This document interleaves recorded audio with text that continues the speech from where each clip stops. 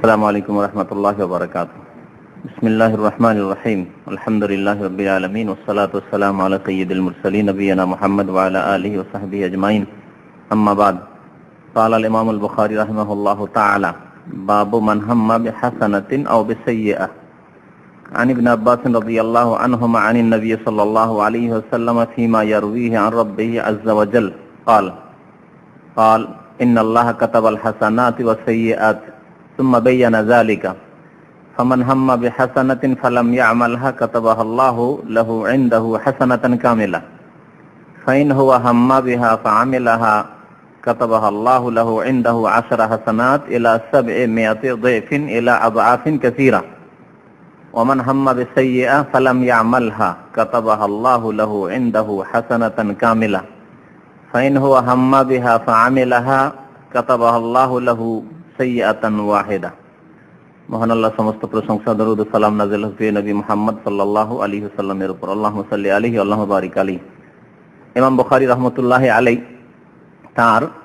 কিতাবুর অর্থাৎ যেসব হাদিস শুনলে, পড়লে এবং সেগুলির প্রতি আমল করলে মানুষের অন্তর আল্লাহর দিকে ধাবিত হবে, নরম হবে, অন্তরে ভয় সৃষ্টি হবে, আখেরাত পরকাল বলে স্মরণ হবে। নেকির কাজে আগ্রহ বাড়বে, এই রকমের হাদিসগুলি এই অধ্যায়ে বর্ণনা করা হয়েছে। তার একটি অধ্যায় হচ্ছে যে, কোনো ব্যক্তি যদি নেকির উদ্দেশ্য করে যে, নেক কাজ করব, ভালো কাজ করব, উদ্দেশ্য করল, নিয়ত করল, অথবা অন্য কোনো ব্যক্তি যদি কোনো গোনা করার ইচ্ছা করে, তাহলে তাদের অবস্থা কি? নেকির ইচ্ছা করল, ইচ্ছা করার পরে হয় করতে পারল অথবা পারল না। যদি নেকি করতে পারে, তাহলে সে কি পাবে? আর যদি নেকি করার ইচ্ছা করল, তারপরে করতে পারল না অথবা করল না, দুটি অবস্থা হইতে পারে, তাহলে তার কি হবে? তাহলে অবস্থাগুলি মনে রাখবেন। কয়টা অবস্থা হইল? নেকি সম্পর্কে? একটা লোক নেকির ইচ্ছা করল। ইচ্ছা করে সে কাজটি, এক হচ্ছে ইচ্ছা করা হ্যাঁ? ইচ্ছা করার পরে সেই কাজটি করা। আর আরেকটি লোক ইচ্ছা করল, তারপরে করল না।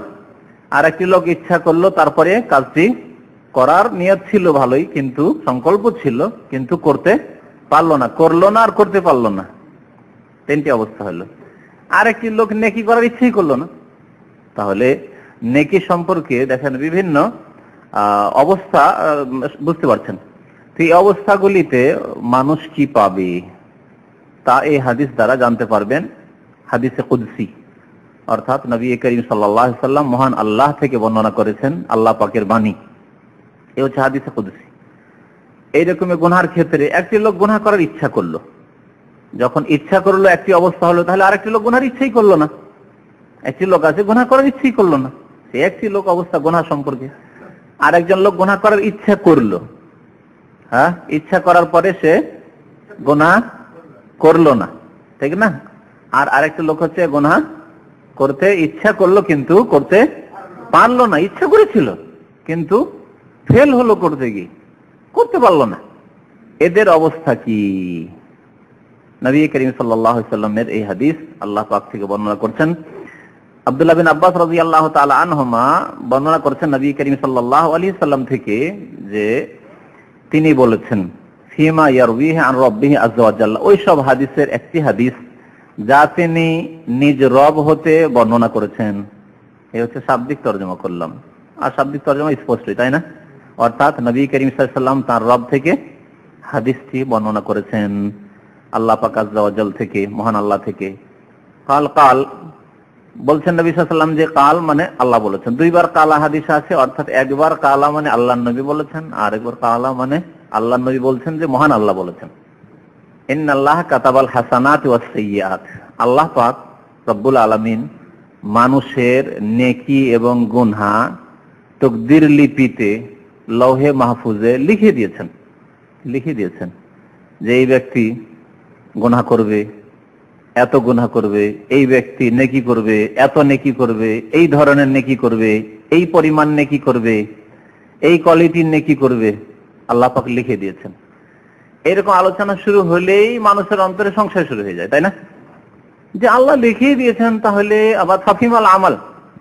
আপনাদের মনে প্রশ্ন এসছে না আসেনি? প্রশ্ন এসেছে। মানে এইরকম কথা বললেই প্রশ্ন। ধর্মীয় ক্ষেত্রে শুধু প্রশ্ন হ্যাঁ? দুনিয়ার ক্ষেত্রে প্রশ্ন উঠে। আমি যদি বলি, আল্লাহ আপনার ভাগ্যে আপনি চাকরি করবেন, বেতন পাবেন, না পাবেন, আল্লাহ লিখে দিয়েছেন। প্রশ্ন উঠল? যে তাহলে আর কর্ম করে লাভ কি? আল্লাহ যে রিয়াল লিখেই রাখেন যে এত রিয়াল আমি ইনকাম করব। আর যদি বিদেশে চাকরি ভাগ্যে থাকে, সৌদি আরবে তো চাকরি করব। হ্যাঁ? এত টাকার মালিক হব, তারপরে এত রিজিক খাব, তারপরে মরবো। ওর কমে মরব না। ঠিক না? আল্লাহ লিখেছেন না লিখেননি? যেমন আল্লাহ কাতাবাল হাসানাত ওয়াসাইয়াত নেকিও লিখেছেন গুনাও লিখেন তেমন আপনার রিজিকও লিখেছেন। আপনি কত রিয়াল ডলারের মালিক হবেন, তাও আল্লাহ লিখেছেন। হ্যাঁ? কত ধন দৌলতের মালিক হবেন, সোনা দানার মালিক হবেন, তাও আল্লাহ লিখেছেন। তাহলে কর্মের জন্য আবার বিদেশে পড়ে আছেন কেন? আপনার যদি প্রশ্ন ওঠে, তাহলে ফাফিমাল আমল, তাহলে নামাজ রোজা করেই লাভ কি তাহলে? যদি আল্লাহ লিখেই রাখেন জান্নাত, জাহান্নাম, আর নেকি কত পরিমাণ হবে, আর গোনা কত পরিমাণ হবে, আমল কি করব তাহলে? আমল করি না করি একটা আমার আল্লাহ তো লিখে রেখেছেন। তাহলে দুনিয়ার ক্ষেত্রেও সেই কথাই কেন বলেন না? যে আর কর্ম করে লাভ কি বিদেশে এত কষ্ট করে, লাভ কি আর পাসপোর্ট করে, লাভ কি একামা করে, লাভ কি অবস্থায় থাকব? যা আছি তাই আছি। আরে বিবি বাচ্চার কাছে থাকব, রেজিক যদি রিয়াল ভাগ্যে থাকে, আল্লাহ তকদিরে লিখে রাখে, তো বিবির কাছে থেকেও রিয়াল পাবো। এ কথা কোনো পাগলে বলবে? পাগলে মনে হয় এরকম কথাবার্তা বলবে না। ঠিক না? এই জন্যই বলছি, তকদিরের ক্ষেত্রে শুধু বিভ্রান্ত হয়েছে মানুষ, ধর্মীয় ক্ষেত্রে। ধর্মের ক্ষেত্রে বিভ্রান্ত গুমরা হয়েছে। বা ধর্মের ক্ষেত্রে এক শ্রেণির বদ প্রকৃতির মানুষ এইরকম কথা বলে থাকে। হয় গুমরা হয়েছে, পথভ্রষ্ট হয়েছে, অথবা জেনে শুনে বিভ্রান্তির শিকার হয়ে থাকে তারা। গুমরাহি কথাবার্তা বলে থাকে। শয়তানি এগুলি হচ্ছে ছলনা, আমল করবে না সেই জন্য, নামাজ পড়বে না সেই জন্য, নেকি করবে না সেই জন্য, পাপ থেকে বাঁচবে না সেই জন্য, এগুলি হচ্ছে ছলনা। দুনিয়ার ক্ষেত্রে এইসব ছলনা করে না কেউ। হ্যাঁ এইরকম পাগলের মতো পরিচয় কেউ দেয় না যে আমি পাগল, বাড়িতে বসে থাকব আর বলব যে আমার ভাগ্যে যদি রিয়াল থাকে তো চলে আসবে। ভাগ্যে যদি বিদেশি টাকা থাকে তাহলে পাসপোর্ট না করলেও চলে আসবে। কেউ বলে না। আর কেউ এরকম কাজ করে না। সাহাবাই কেরাম আর একটু বলি। সাহাবাই কেরামও জিজ্ঞাসা করেছিলেন, যেমন আপনাদের মনে জিজ্ঞাসা আসে। কেন আপনাদের জিজ্ঞাসাটাকে আমি যে কথাটা বললাম, তাতে কিন্তু একবার ঠান্ডা করে দিলাম। আর কেউ জিজ্ঞাসা করে সাহসী করবেন না, তাই না? তো সাহাবাই কেরামরা এরকম জিজ্ঞাসা করেছেন রাজি আল্লাহ তালাজমাইন যে ফাফিম আল আমল ইয়া রাসূলুল্লাহ, তাহলে আল্লাহ যখন লিখে দিয়েছেন, তাহলে আমল করে আর না করে কিছু পার্থক্য হবে? যা হওয়ার তো একটা হয়ে গেছে, লহ মাহফুজে লিখা আছে। তখন নবী করিম সাল্লাহ সাল্লাম কি বলেছিলেন? যে ঠিকই আছে। আমল করো, না করো, যা হওয়ার হয়ে গেছে, বসে থাকো। বসে থাকো। কাজকর্ম করিও না। যা আছে, যে অবস্থায় আছে, থাকো। কথা বলেছেন? কি বলেছেন বরং? বলেছেন এ মালু এ মালু তোমরা আমল করতে থাকো। নামাজ কায়েম করতে থাকো। জাকাত দিতে থাকো। দান খেরাত করতে থাকো। মাতা পিতা সেবা করতে থাকো। হজ ওমরা করতে থাকো। নেকির কাজ করতে থাকো। তারপরে আল্লাহ রসুল বলছেন, কারণ প্রত্যেক ব্যক্তির জন্য সহজ করে দেওয়া হবে। লেমা খুলে কালাহু যার জন্য সে সৃষ্টি হয়েছে। যার জন্য সৃষ্টি হয়েছে, সে জান্নাতের জন্য সৃষ্টি হয়েছে। জান্নাতে যাওয়ার জন্য না, জাহান্নামে যাওয়ার জন্য সৃষ্টি হয়েছে। মমিন আর সৎ হওয়ার জন্য সৃষ্টি হয়েছে না অসৎ হয়ে মরার জন্য সৃষ্টি হয়েছে। তো যেই জন্য তাকে আল্লাহ সৃষ্টি করেছেন, সেই পথ তার জন্য সহজ করে দেওয়া হবে। তাকে সহজ লাগবে। আর এটা আমরা অনুভব করছি, অনুভূত। দুইজন বন্ধু একই সাথে একই স্কুলে প্রাইমারি থেকে পড়াশোনা করে এসেছেন, এখন পর্যন্ত এখানে আছেন। দুইজনের একজন মাশাআল্লাহ নামাজি আর একজন একেবারে বেনামাজি। একজনকে নামাজ পড়তে ভালো লাগে, না পড়লে অশান্তি। একদিন যদি নামাজ কাজা হয়ে যায়, তাহলে অশান্তির তার শেষ নেই। আর একজনকে নামাজ পড়তে বললে এত কষ্ট লাগে যে ঝগড়া করে নেই তোমার আমার ব্যাপারে বলার কি আছে? তাহলে একজনকে নামাজ পড়তে কত ভালো লাগছে, কত সহজ লাগছে, আর একজনকে নামাজ পড়তে কত কষ্ট লাগছে, খারাপ লাগছে। একজনকে বিড়ি সিগারেট কত ঘৃণা লাগছে? রাস্তায় বিড়ি সিগারেট খাচ্ছে, এত ঘৃণা লাগছে যে যদি সম্ভব হইতো তো এসব রাস্তায় চলতামই না। আমার মতো লোক যদি হয়তো ঠিক আমি এরকম অনুভব করি। যে আমার পক্ষে যদি সম্ভব হয়তো দুনিয়াতে কোনো জায়গায় পেতাম, যেখানে রোজিরিক পাওয়া যাবে আর বিড়ি সিগারেটের গন্ধ আসবে না, তো সেখানেই বাস করতাম, আসতামই না এখানে। বিশেষ করে শুক্রবারে যদি আমার এই এলাকাতে না আসা ফরজ হইতো, তাহলে আমি এই এলাকাতে শুক্রবারে এই বিড়ির গন্ধ জন্য আসতাম না, এই মুসিবতের জন্য আসতাম না। অন্যদিন আসতাম, ভিড় ভাড় যেদিন কম থাকতে। এটা বিড়ি, সিগারেটের মুসিবত থেকে একটু হালকা। বাঁচতে পারতাম। আমি এটা ব্যক্তিগত অনুভব করি। নিচে নামার আগে সিঁড়ি থেকে গন্ধ পাওয়া যায়। এত আবহাওয়াকে দূষিত করে রেখেছে, খারাপ করে রেখেছে এই হারাম খাওয়া লোকেরা। আর একজনকে বিড়ি না ফেলে মরিয়া হয়ে উঠে বিড়ি না পেলে পাগল হয়ে যাবে রাতে সারা ঘুম আসবে না। স্ত্রীর যদি অলংকার, পয়সা নেই, স্ত্রীর অলংকার বিক্রি করে দিতে হয় তো বিক্রি করে দেবে। আরও কিছু করে দেবে। এর চেয়ে বেশি নাজাজ কাজ করে ফেলবে আরও। বিড়ির জন্য। বিড়ির নিশা উঠেছে, পকেটে পয়সা নেই, বিড়িও নেই তার কাছে। কোনো একজন লোক বিড়ি দিতে চাইছে, তোমার বউর সাথে আমাকে নির্জনে গল্প করতে দিতে হবে তাও দিয়ে দিবে জুয়ারিরা বউ বিক্রি করা, আগের যুগে শুনতাম যে অনেকে বউ বিক্রি করে দিত হ্যাঁ?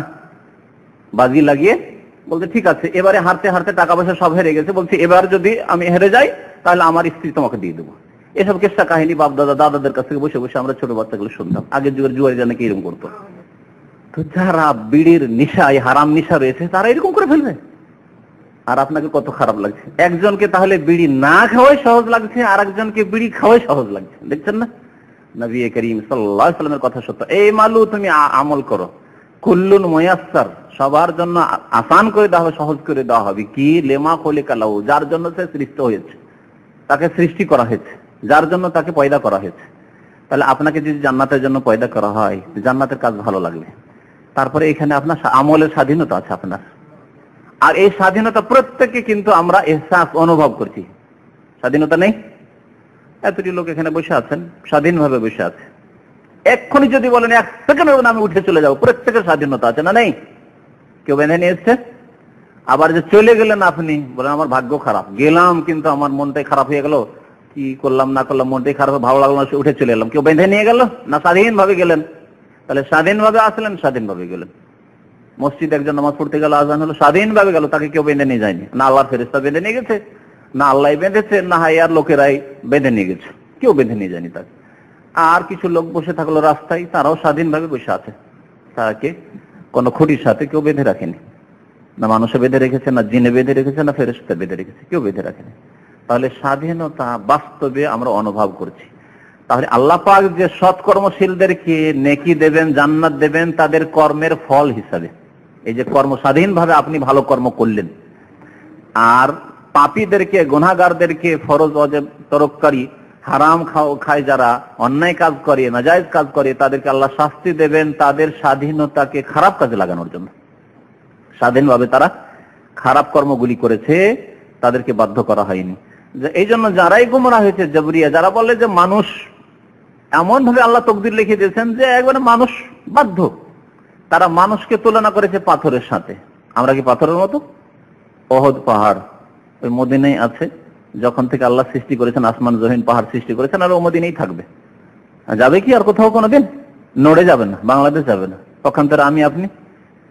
আজকে দামান আছেন, কালকে মদিনায়, আরেকদিন মক্কায়, আরেকদিন কোথায়? নড়াচড়া করছেন। তাহলে এই যে বাস্তব এর মিথ্যা প্রমাণ করছে যে এরা যে মিথ্যুক, যারা গুমরা হয়েছে তুকদির ক্ষেত্রে যে আল্লাহ তকদির লিখে দিয়েছেন সেই জন্য আমাদের করার কিছু না, আমরা কাল জামাত, পাথরের মতো। কথা মিথ্যা, তার মিথ্যুক। এইরকমই আর দল বিভ্রান্ত হয়েছে, যারা বলছে যে তকদির বলে কিছুই নেই। একেবারে উল্টো দিকে। তকদির কিছু নেই। তকদির লিখে দাও মানে ও যে ওদের মতো হয়ে যাব, তাহলে তকদির লিখে দাও বলি, তাহলে তো পাথরের মতো আমরা বলব। পাথর মতো তো আমরা নই। সুতরাং তকদির কিচ্ছু নেই সব যা করি আমরাই করি। এবং আল্লাহর কোনো ক্ষমতা নেই।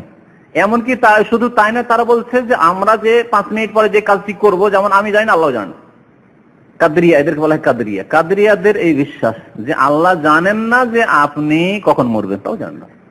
লিখেও রাখেনি আর জানেনও না।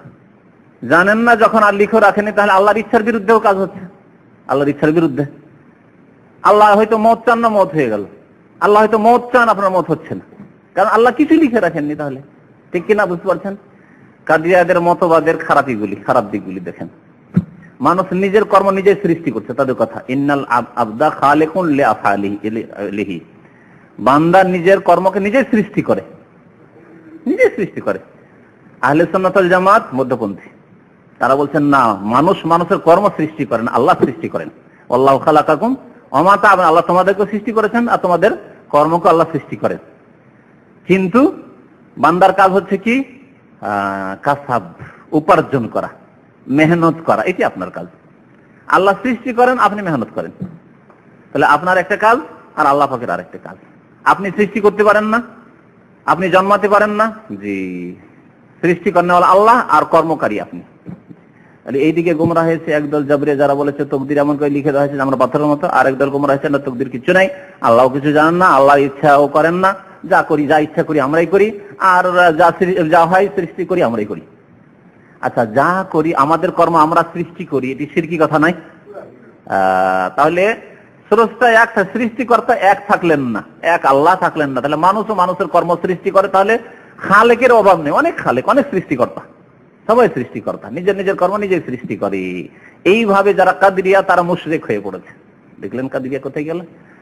আল্লাহর নবীর তরিকা ছেড়ে দিয়ে যখনই এদিক ওদিক যাবে, তখন এমন ভাবে গুমরা হবে যে টের পাবে না যে আমি কি বলছি আর কি করছি আর কোথায় গেলাম। গুমরাদের অবস্থা এরকমই হয়। তো কথা বেড়ে যাচ্ছে, আল্লাহ ফাকবুল আলমে নেকি এবং গুনাহ লিখে রেখেছেন। আমি একটা উদাহরণ দিয়ে খুব সহজভাবে এই জন্য বুঝাই যে আল্লাহ পাক অতীতের কথাও যেমন জানেন, বর্তমানের কথাও জানেন আর ভবিষ্যতের কথাও জানেন, একই সমানভাবে জানেন। আমরা আসলে অবাক হয়ে যে আল্লাহ লিখে রেখেছেন, কেমন কথা হইল? এই জন্য যে আমরা আল্লাহকে মানুষের মতো সৃষ্টির মতো মনে করি। আমরা অতীতের কিছু ঘটনা জানি, বর্তমানে চোখের সামনে যেটুকু হচ্ছে জানি, কিন্তু চোখের আড়ালে কি হচ্ছে দেওয়ালের আড়ে তা জানি না, ঠিক না? আর অতীতের বহু কথাই জানি না যা আমাদের কানে পৌঁছেনি বা চোখে দেখিনি, ঠিক না? আর ভবিষ্যতের তো কিছুই জানি না। এক মিনিট পরে কি হবে তাও জানি না। পক্ষান্তরে আল্লাহ পাক রব্বুল আলমিন অতীত, বর্তমান, ভবিষ্যৎ, সামনে, চোখের আড়ালে সবকিছু ফায়ানুজরা কাইফা তামালুন সব জানেন। সুতরাং আল্লাহ যখন জানেন আর আল্লাহ মানুষের জন্ম হওয়ার আগে জানেন, পৃথিবীতে আসার আগে থেকে জানেন। আল্লাহ আদম আলি সাল্লামকে সৃষ্টি করেন, তার আগে থেকেই জানেন। যে আদমকে সৃষ্টি করব, আদম আলি সাল্লামের এত সন্তান হবে কেমন পর্যন্ত এত মানুষ জন্মাবে তার মধ্যে এত হিন্দু হবে, এত ইহুদি, এত খ্রিস্টান হবে, এত মুসলমান হবে, মুসলমানদের মধ্যে এত বিদাতি হবে, এত বিনামাজি, এত নামাজি হবে, এত সংখ্যায় জান্নাতি হবে, সব আল্লাহ জানেন ভবিষ্যতে। তার মধ্যে অমুকের বাড়িতে পাঁচটা ছেলে হবে, তার মধ্যে তিনজন নামাজি হবে, আবদুল্লাহ নামাজি হবে, আব্দুর রহমান নামাজি হবে আর আব্দুল খালেক বেনামাজি হবে, ইত্যাদি। আল্লাহ সব জানেন ফাসেক হবে, গুনাহগার হবে, তাই জাহান নামে যাবে, অমুক অমুক জান্নাতে যাবে। সব আল্লাহ জানেন, তাই আল্লাহ পাক তার এই ওয়াসি প্রশস্ত এলেমের ভিত্তিতে। ওয়াসিয়া কি আছে? না হ্যাঁ? কুল্লা সাইয়েন এলমা আহসান। ওয়াসিয়া কুল্লা সাইয়েন এলমা আল্লাহ পাক রব্বুল আলমিনের এলম সবকিছুকেই ঘিরে আছে, পরিব্যাপ্ত। ওয়াসিয়া। সমস্ত এলম আল্লাহ পাক রব্বুল আলমের কাছে রয়েছে। তো আল্লাহ পাক তার এই এলম দ্বারা সবকিছু আল্লাহ জানেন, নেকি এবং গুনাহ লিখে রেখেছেন। সোম্মা বাইয়ানা জালেকা তারপরে এই গুনাহ এবং নেকির সম্পর্কে একটি কথা বর্ণনা করলেন নবী করিম সাল্লাহ সাল্লাম যে আল্লাহ পাকে কথা বলেছেন। কি ফামান হাম্মা বে হাসানাতিন নেকির যে ইচ্ছা করল। আগে বলেছি না? নেকির ইচ্ছা সম্পর্কে। একজন নেকির ইচ্ছা করল, তাহলে যে নেকির ইচ্ছা না করবে, ইচ্ছাই করল না নেকি? কিছু পাবে? প্রশ্নে ওঠে না। একজন নেকির ইচ্ছাই করেনি, তাহলে কিছুই পাবে না। নামাজের উদাহরণ দিই। এসার নামাজের সময় হলো, অক্ত এলো। একজন লোক এসার নামাজ পড়ার ইচ্ছাই করল না, নেকি পাবে? নেকি পাবে না। গোনা পাবে? হ্যাঁ ফরজ ছাড়ো সেজন্য গোনা পাবে। আরেকজন লোক নেকির ইচ্ছা করল, ফামান হাম্মাবে হাসানাতিন, ফরজ হোক আর নফল হোক, নেকির ইচ্ছা করল। ফালাম ইয়ামাল হা সেই আমল করল না, সে আমল করল না। নেকির ইচ্ছা করল, তারপরে করল না। এই লামিয়া আমালাহার দুইটি অর্থ। একটা হচ্ছে করল না আর এটা হচ্ছে করতে পারল না। দুটি অর্থ হয়। আরবিতে দুটি অর্থ হয়। আর দুই অবস্থাতে দুই রকম কিন্তু উত্তর হবে। একরকম উত্তর হবে না। একরকম ফল হবে না। রেজাল্ট একরকম নয়। একজন লোক নেকির ইচ্ছা করল আর তারপরে নেকি করল না।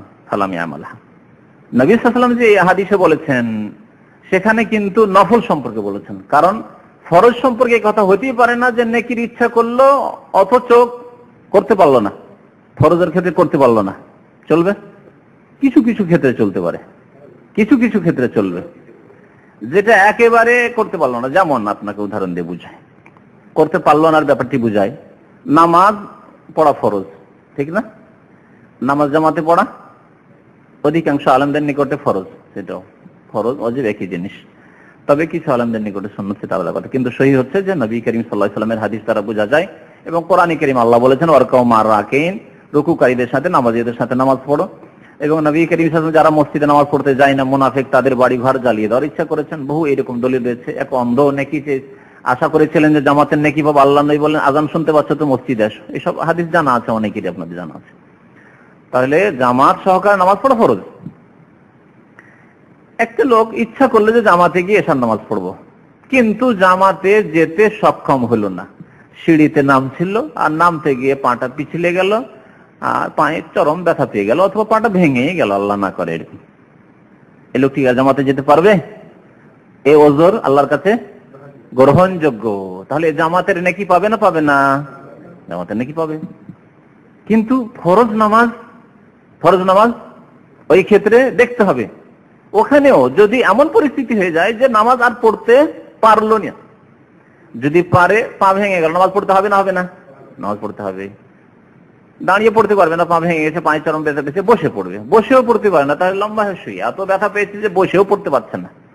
পা মরাতে পারছে না। তো কি করবে? শুয়ে শুয়ে পড়বে। হোশ আছে, শুয়ে শুয়ে পড়তে হবে।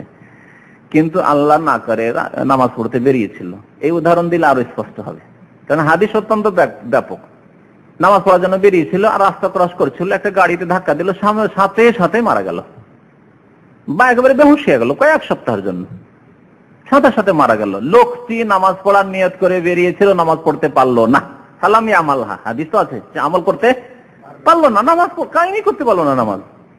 জামাতে যাওয়া তো দূরের কথাও নামাজই পড়তে পারল না, ওতেই মারা গেল। সেই এসার নামাজের নাকি পাবে না? পাবে না। পাবে পাবে। আল্লাহর হকের ক্ষেত্রে, নামাজের ক্ষেত্রে উদাহরণ দিলাম। মানুষের হকের ক্ষেত্রে আল্লাহর হকের পরে মাতা পিতার হকের কথা বলেছেন। এর উদাহরণ একটু দিই।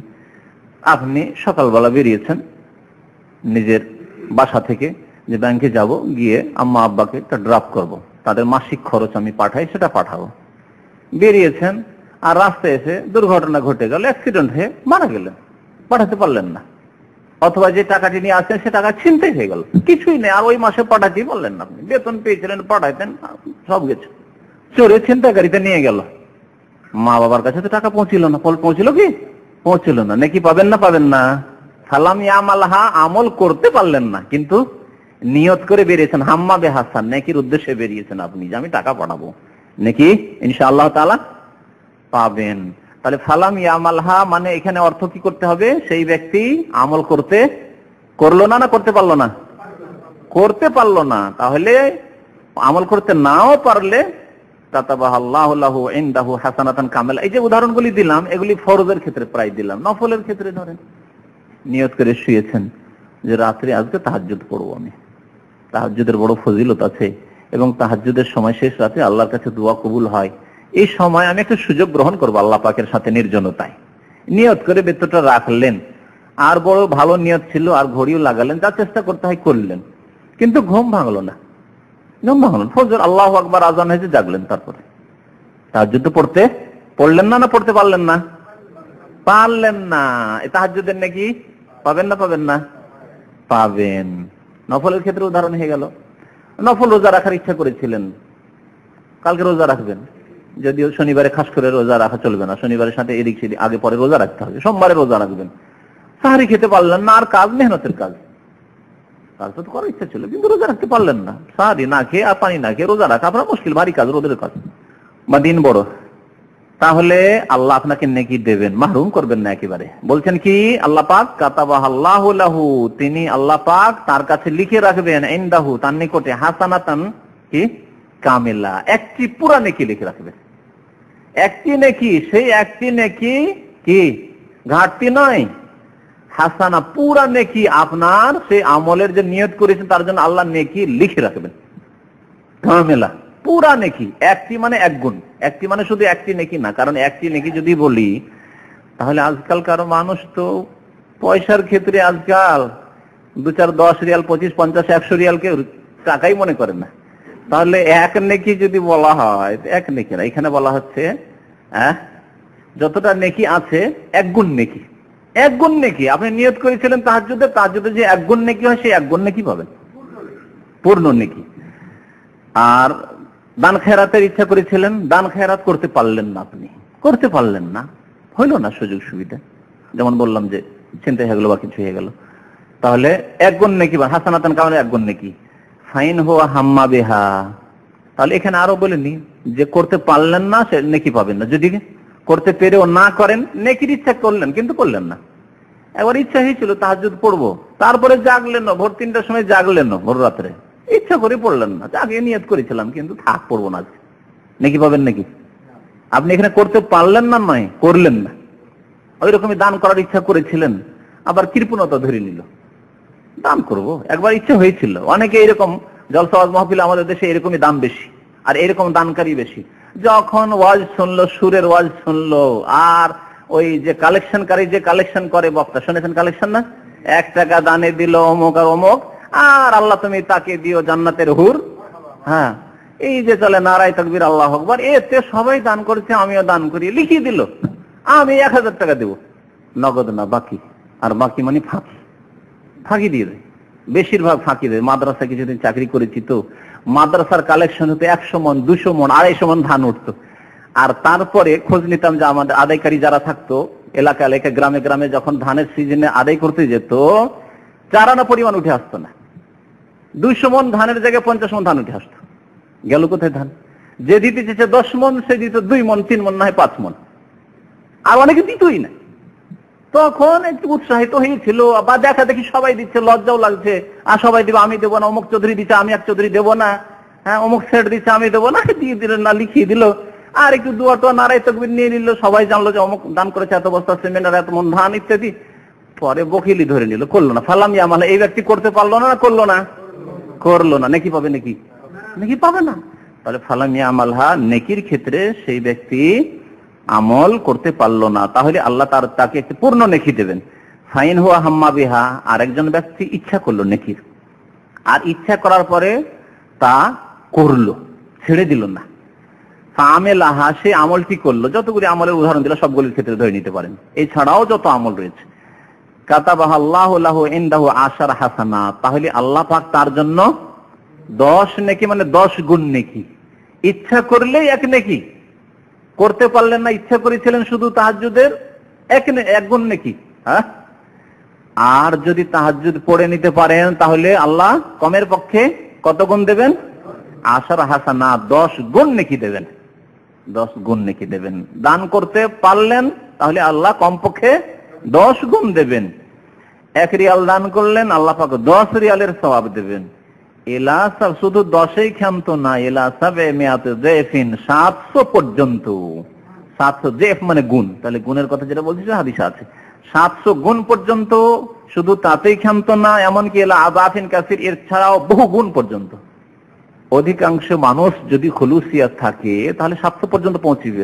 কিন্তু ব্যতিক্রম আর অধিক এখলাস এবং আন্তরিকতার জন্য এবং অভাব থাকা সত্ত্বেও দান করা বা অসুস্থতা দুর্বলতা ক্লান্তি থাকা সত্ত্বেও জামাতে গিয়ে নামাজ পড়া, ওয়াক্তে নামাজ পড়া, এগুলি তখন আরও নাকি বেড়ে যাবে, বাড়বে না? একটা লোক সুস্থ আছে জামাতে নামাজ পড়ছে আরেকজন লোক অসুস্থ জামাতে গিয়ে নামাজ পড়ছে নাকি পার্থক্য হবে না? আরেকজন, একজন একজন লোক আরামে মসজিদে গিয়ে, আরামে মসজিদ, রাস্তা আরামের পাকা রাস্তা, কাদা নেই, পানি নেই, অন্ধকার নেই, বিদ্যুৎ রয়েছে, গিয়ে নামাজ পড়ছে, এসি লাগানো রয়েছে নামাজ পড়ছে। আরেকজন লোক প্রত্যেক অক্তে নামাজ আমাদের দেশের মসজিদগুলিতে। প্রত্যেক অক্তে নামাজ পড়তে যায়, প্রত্যেক অক্তে জামা, কাপড় সব ঘামে ভিজে যায়। রাতের অন্ধকার কিছুই দেখায় না, সাপ, বিচ্ছুর, দেশ নামাজ পড়ে। তো নেকির পার্থক্য হবে না? জামাতে তো দুজনেই নামাজ পড়ল। এই জন্য এখলাসের ভিত্তিতে নেকির পার্থক্য। কমপক্ষে আল্লাহ দশ নেকি দেবেন। একটা লোক হয়তো জামাতে নামাজ অনেক সময় অবহেলা করে দেয় পড়তো না, কিন্তু তার বাবা শক্ত আব্বা আছে। জামাতে যেতে হবে।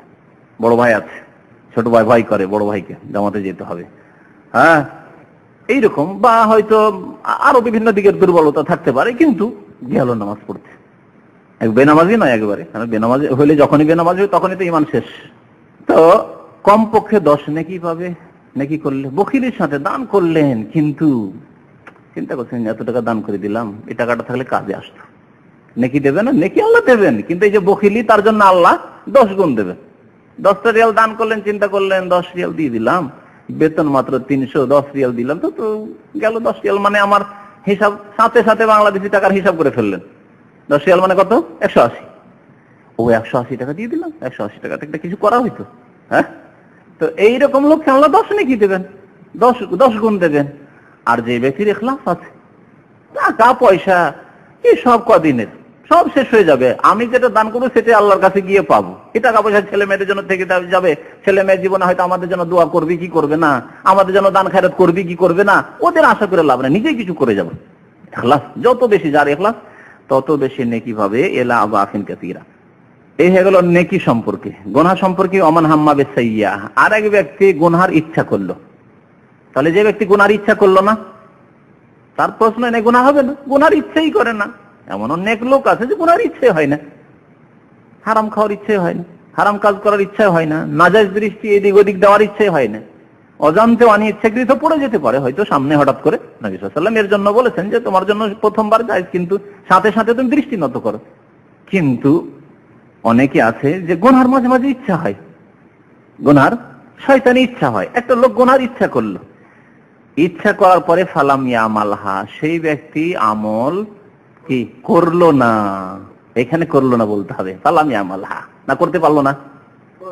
করল না। দুইটি অবস্থা। একটা হচ্ছে করতে পারল না গোনা করতে চাইলো, আর করতে পারল না। আরেকটা হচ্ছে গোনা করতে চাইলো, আর করল না। দুইটি অবস্থা। দুই অবস্থাতে রেজাল্ট একই রকম হবে না দুই রকম? দুই রকম। একজন লোক, একটা মহিলার সাথে নির্জন একটু গল্প করতে চাইলো।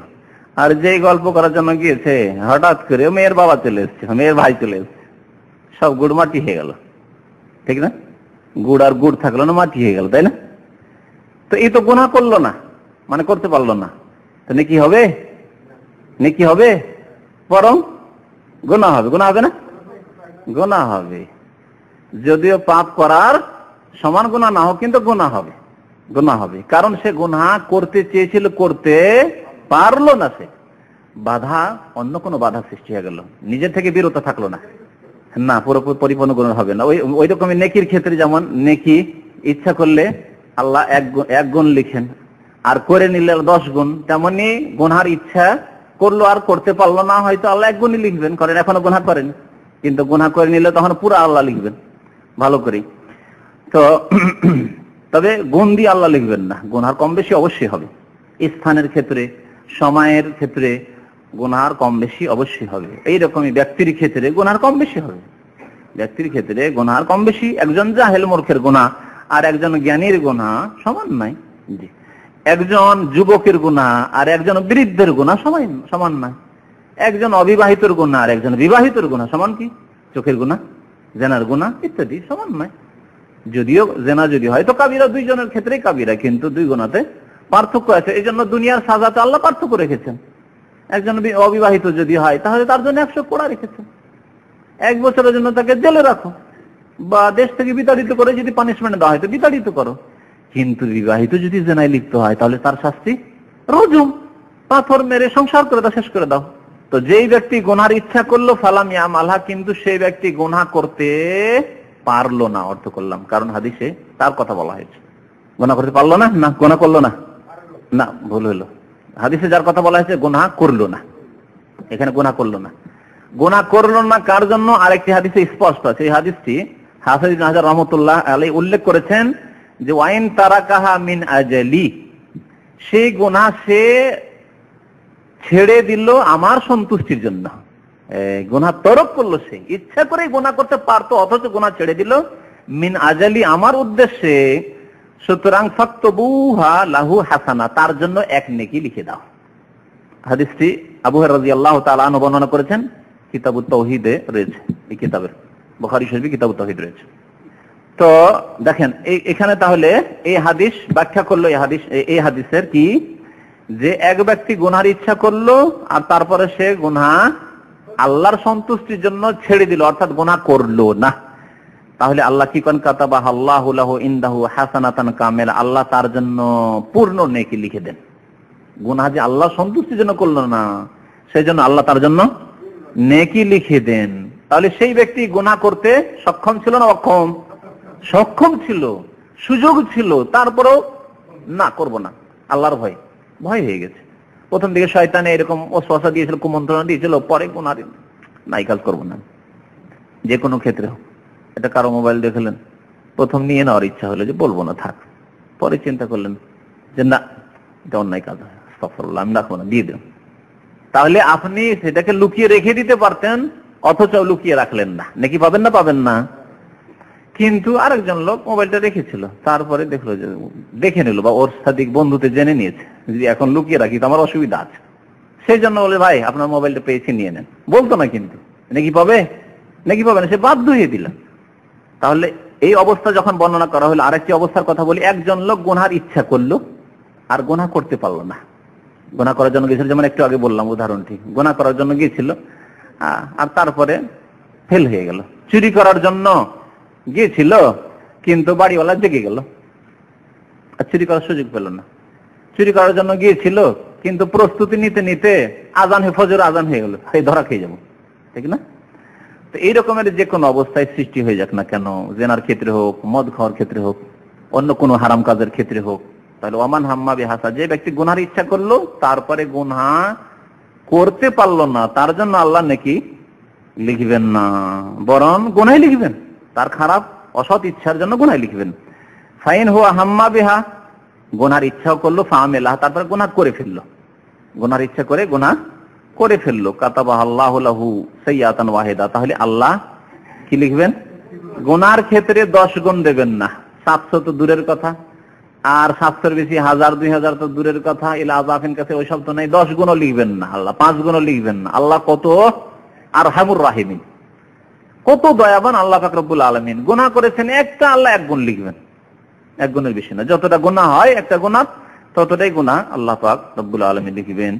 এই জন্য নবী সাল্লামের হাদিসে রয়েছে, সেটিও হাদিসে কুদ্দুসি আল্লাহ বলছেন, ইন্না রাহমাতি সাবাকাত আলা গাজাবি নিশ্চয় আমার রহমত, আমার গজব, আমার ক্রোধ চাইতে অতিক্রম করেছে। ক্রোধের চাইতে অতিক্রম করেছে। ইন্না রাহমাতি, নিশ্চয় আমার রহমত, আল্লাহ বলছেন, আমার রহমত, আমার গজব বা আমার ক্রোধ চাইতে অতিক্রম করেছে। মানে ক্রোধকে আমি পিছনে ছেড়ে দেবো, ক্রোধকে পরাজিত করব। ক্রোধ হচ্ছে, রাগ হচ্ছে, আর তার সাথে আল্লাহ রহমত হচ্ছে। রহমত জয়ী হয়ে যাবে। ক্রোধের তুলনায়। কাল কিয়ামতে এই জন্য গুনাগারদের ক্ষেত্রে এইরকমই হবে যদি সে মুসলিম নামাজি হয়।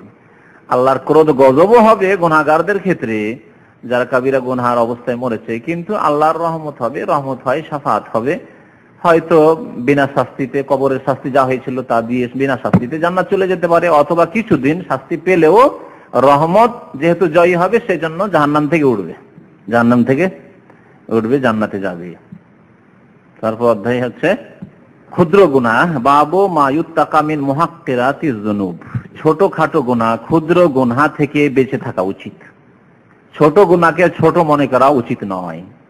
যারা সৎ হতে চায়, নেক হতে চায়, তাদেরকে ক্ষুদ্র থেকে ক্ষুদ্র গুণা সম্পর্কে অনুভূতি থাকতে হবে।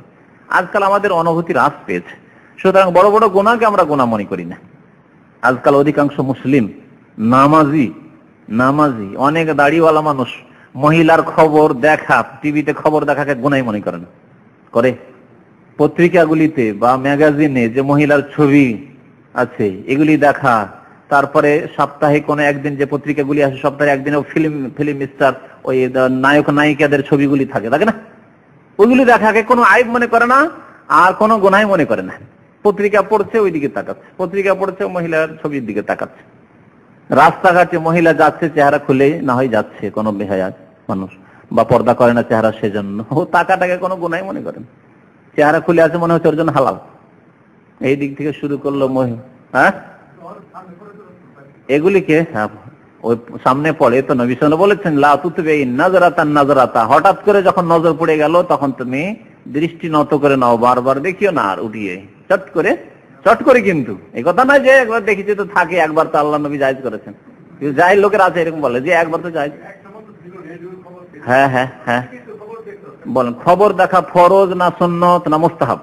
বলেন, বাংলাদেশে আজকে দশটা লোক মারা গেছে, এটা জেনে আপনার লাভ কি? বাংলাদেশে দুটো বাস অ্যাক্সিডেন্ট হয়েছে, মনে করে। কি লাভ আপনার? আপনাকে না এইসব খবর শুনে আপনাকে গদিতে নিয়ে গিয়ে বসাবে? কি লাভ? এতটুকু যথেষ্ট যে মুসলিম ভাইরা কেমন আছেন আমার? সারা বিশ্বে, শুধু বাংলাদেশে না, সারা বিশ্বের মুসলিম ভাইরা কেমন আছেন? এর জন্য মেলা রাস্তা আছে। রেডিওর খবর, আজ পর্যন্ত রেডিও, কেবল রেডিওর খবর নেই। ইসলামী চ্যানেলে মহিলা যদি খবর পড়ে, হারাম। ইসলামী নাম দিয়ে দিলে হবে নাকি? কেউ যদি ইসলামী মদ নাম রেখে দেয়, তো জায়জ হয়ে যাবে। ইসলামী ইন্স্যুরেন্স আজকাল হয়েছে। জায়জ হয়ে যাবে নাকি? ইন্স্যুরেন্স জুয়া। ইসলামী ইন্স্যুরেন্স করতে গেলে। ইসলামী নাম দিলে হয় না। ইসলামী টিভি, ইসলামী চ্যানেল আর মহিলা খবর পড়ছে, মহিলা ওয়াজ করছে আরে মহিলা ওয়াজ করছে আজকাল। বাংলাদেশে শুরু হয়েছে কিনা, পাকিস্তানে তো মাসা আল্লাহ বেশ উন্নতি করেছে। হ্যাঁ? মহিলা ইসলামী বক্তব্য করছে। আর পুরুষরা বসে বসে দেখছে। কা পুরুষরা দেখছে যে হাই রে, আমরা এর মতো হইতে পারলাম না। হ্যাঁ ই মৌলানা হয়ে গেছে, মহিলা মৌলানা হয়ে গেল আমরাই মৌলানা হইতে পারলাম না। ই এক ফেতনা। কেয়ামতের আগে এক ফেতনা, মহিলাদের ফেতনা। যে ইসলামিক স্টেজে এসে মহিলারা বক্তব্য করবে। আর পুরুষদের আর কেউ বক্তব্য শুনছে না। কারণ পুরুষদের আওয়াজ দেখেন, আমার আওয়াজ কর্কশ আওয়াজ। এখানে যদি একজন মহিলা আওয়াজ করতো, তাহলে ওই পিছনের লোকেরা এইরকম করে থাকতো না।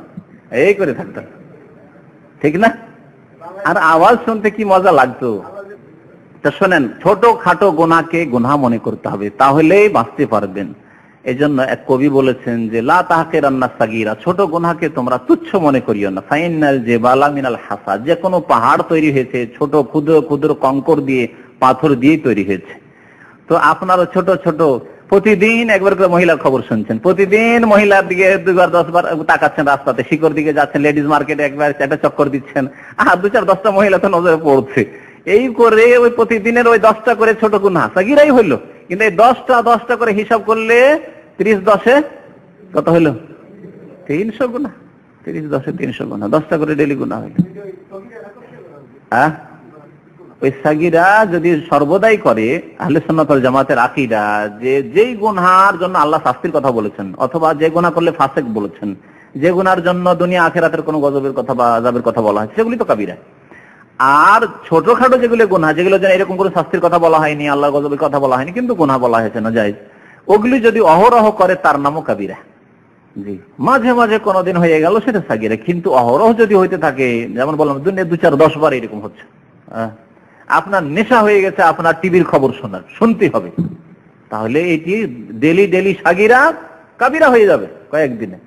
কিন্তু সপ্তাহে, মাসে একবার কখনো এইরকম শয়তান সবাই টিভির খবর শুনছে, আমি একদিন শুনেও দেখি, দেশের অবস্থা কি একটু শুনে দেখি। একবার সপ্তাহে, মাসে একবার কোনো সময় হয়ে গেল তো সাগিরা তো শোনেন আনাস রাজি আল্লাহ তালান কি বলছেন? কাল বলছেন, ইন্নাকুম লাতা'মালুন আমালান তোমরা এমন কিছু আমল করো, হে আদাক কফি আয়নুকুম মিনাশ শারি তোমাদের কাছে এগুলি তোমাদের চুল চাইতেও তোমাদের নজরে সরু বা চিকন সরু, এই যে মানুষের চুল আছে। এই চুলের চাইতেও বেশি আদাক দাকিকের ইসেন তাফজিল সেগা ইসেন তাফজিল আদাক তো চুলের চাইতেও বেশি চিকন মনে করো তোমাদের এই আমলগুলিকে মানে গুনাহগুলিকে মানে হালকা মনে করো। চুলের কোনো ওজন আছে, একটা চুল পড়ে গেছে, দেখতে পাচ্ছেন না হয়তো। হালকা ওই রকমই হালকা মনে করেন কিছু গোনা তোমরা সম্বোধন করছেন কাকে? কোন লোকগুলিকে?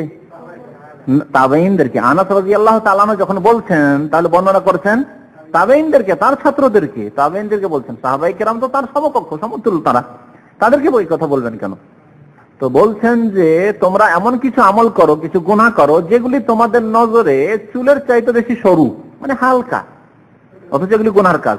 আর আমরা আল্লাহ নবীর জামানায় সেগুলিকে কি মনে করতাম?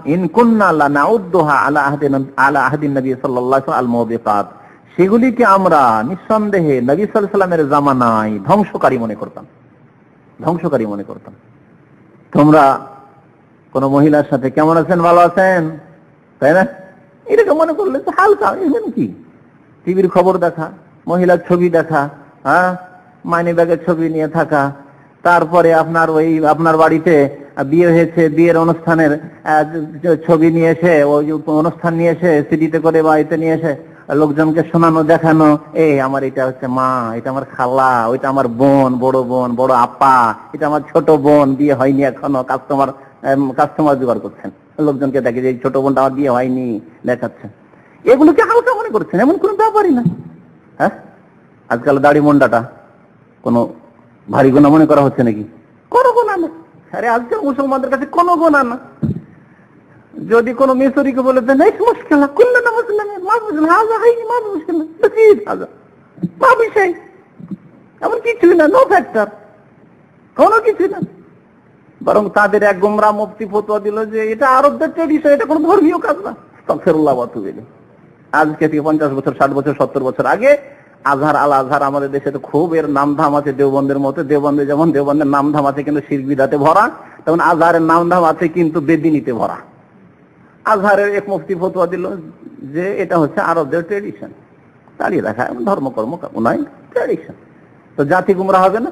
যেই জাতির আজহার থেকে ফতোয়া হবে, সেই জাতি কত গুমরা হবে চিন্তাই করেন তাহলে। আর এই সৌদি আরবে, দেখেন আলেমরা এখনও, যদিও ভাষাটা দাঁড়িয়ে রাখে না, কিন্তু সৌদি আরবের আমাদের ফতোয়া যে দাঁড়িয়ে রাখা অজিব অজিব কথা শুনলে মানুষের একটা অন্তরে ভীতি জন্মাবে। সিগারেট ধূমপানের ব্যাপারে। ধূমপানের ফতুয়া আরও বলমা ইকরামরা বা কোরআন সুন্নার অনুসারী সালাফি আলমারা ফতুয়া দিলেন এক মতে, কোনো দ্বিমত নেই যে হারাম, ধূমপান হারাম। তাই এদের মধ্যে দেখবেন আপনি আপনি ইন্ডিয়া, বাংলাদেশেও দেখবেন, কোরআন সন্ন্যার অনুসারী, তাদের মধ্যে আপনি ধূমপান কম পাবেন। পক্ষান্তরে, আর আলেমদের মধ্যে তো পাবেন না। আহলে হাদিস, কোন আলেমকে আজ পর্যন্ত আমি দেখিনি, শুনিনি যে কোনো আহলে হাদিস আলেমে ধূমপান করে। কিন্তু দেওবান্দি, বেরেলভি হানাফিদের মধ্যে, ইন্ডিয়া, বাংলাদেশের মাদ্রাসায় বসে সিগারেট খায়। দেখেছেন? অনেকে দেখেছেন। হ্যাঁ হ্যাঁ আজম সাহেব, জানেন না? আর জর্দা ছাড়া তো পান ও হুজুররা খায় না। আজম সাহেব মাদ্রাসা থেকেছেন। দেখেন, মাথা জোকাচ্ছে দেখেন। পীরেরা, প্রায় পীর শুধু পান না, কে বলল পান? ধূম পান করে গাঁজা পর্যন্ত, গাঁজাটা একটু বাদ দিলাম। ধূম পান করে। আমার এলাকায় এক পীর, তার নাম হচ্ছে ফখরুদ্দিন। ছোটকালকার কথা বলছি। তো তার এলাকার এক পীরের মুরিদ, সে বলছে, আমার পীর সাহেব যখন এলাকায় আসে তখন রাত্রে তাকে তিন প্যাকেট সিগারেট দিতে হয়।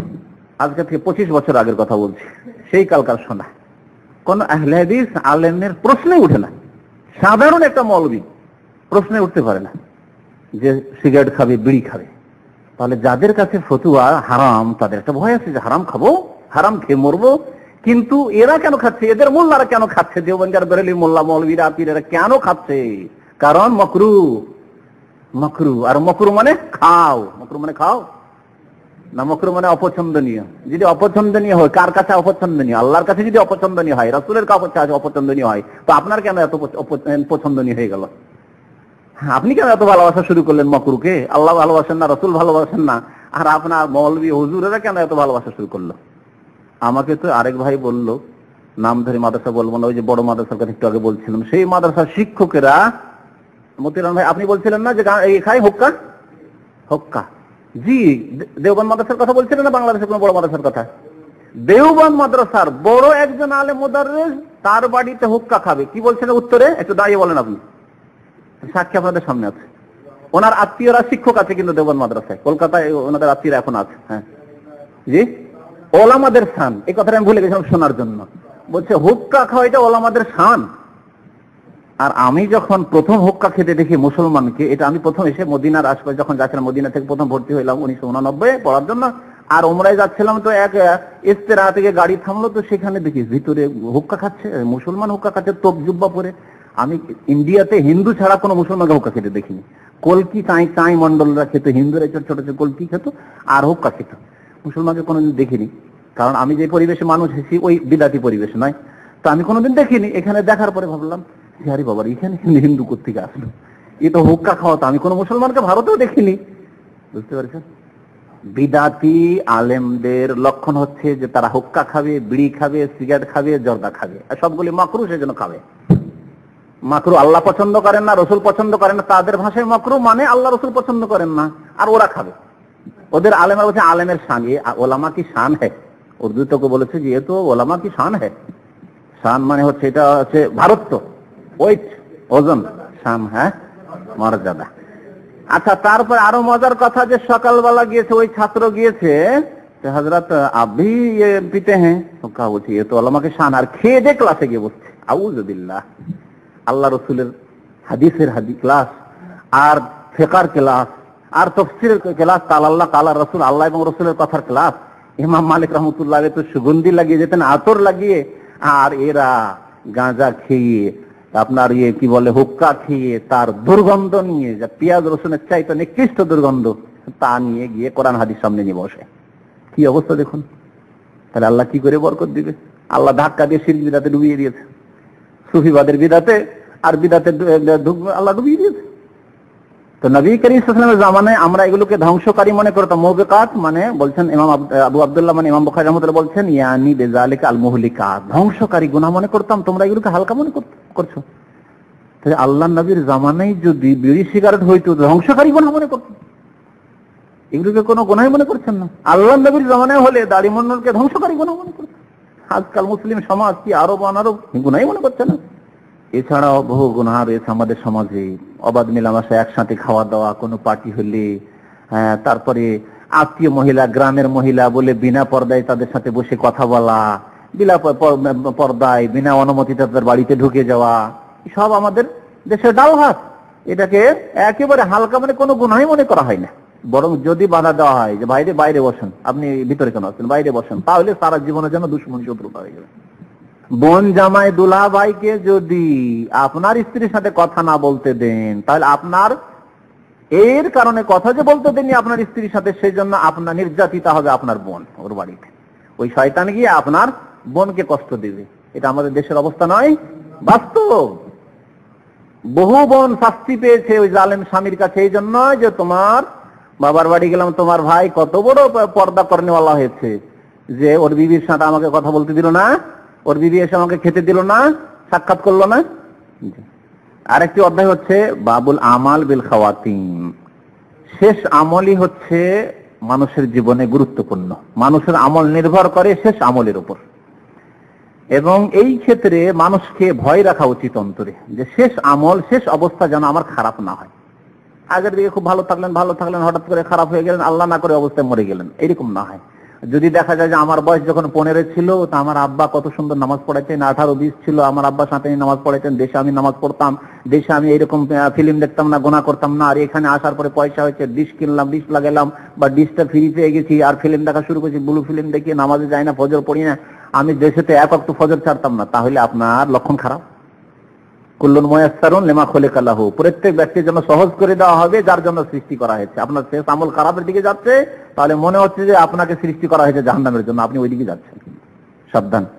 তো এই জন্য লেখক সাবধান করার জন্য বলছেন যে, আমল নির্ভর করে শেষ আমল। খাওয়াতিম মানে খাতেমাতুনের জমা হচ্ছে শেষ আমলের ওপর আর এই ক্ষেত্রে অমায়ু খাফা মিনহা, ভয় করা উচিত মানুষকে। অর্থাৎ শেষ আমল যাতে খারাপ না হয়। কখন শেষ হবে? জানা আছে? তাহলে যখন জানা নেই কখন শেষ হবে, যে কোনো বয়সে আমার সময় শেষ হয়ে যেতে পারে মত চলে আসতে পারে, তাহলে সব সময় আমাদেরকে সজাগ থাকতে হবে গোনা থেকে বেঁচে থাকতে হবে, যাতে করে আমার শেষ আমলটা ভালো হয়। সব সময় আল্লাহকে স্মরণ রাখতে হবে, সব সময় জিকির আজকার জবানে রাখতে হবে, সব সময় সুবহান আল্লাহ আলহামদুলিল্লাহ আল্লাহু আকবার ইত্যাদি পড়তে হবে, তাহলে এই অবস্থাতে ভালো অবস্থায় মত হবে। সাহাল ইবনে সাদ রাদিয়াল্লাহু তাআলা আনহু বলছেন যে নাজারান নবী সাল্লাল্লাহু আলাইহি রাজুলিন ইউকাতিলুল মুশরিকিন একজন লোককে নবী সাল্লাল্লাহু দেখলেন যে মুশরিকদের বিরুদ্ধে যুদ্ধ করছে। ওয়া কানা মিন আযামিল মুসলিমিনা গানাআন আনহুম মুসলমানদের মধ্যে সবচেয়ে বড় যোদ্ধা মনে হচ্ছিল তাকে। হুম? যে মুসলমানদের পক্ষ থেকে একাই লড়াই করে যথেষ্ট।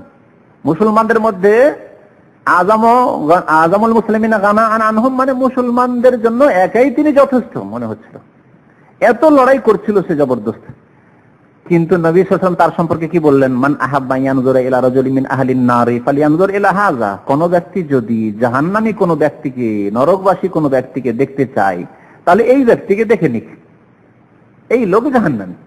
সবচেয়ে বেশি যুদ্ধ করছে। আর আল্লাহ নবী ভবিষ্যৎবাণী করেছেন যে, কেউ জাহান্নামীকে দেখতে চাও, তাহলে দেখে নাও, এই লোকটি জাহান্নামী। মানুষের অবস্থা কেমন হবে তাহলে? ফাতাবে আহ রাজুলুন। একজন লোক ওর পিছনে লেগে গেল যে দেখি, আমি একে অবলোকন করতে থাকি, দেখতে থাকি। ভালো করে দেখতে থাকি যে কেন, আল্লাহ নবী কেন বললেন, এইরকম কেন?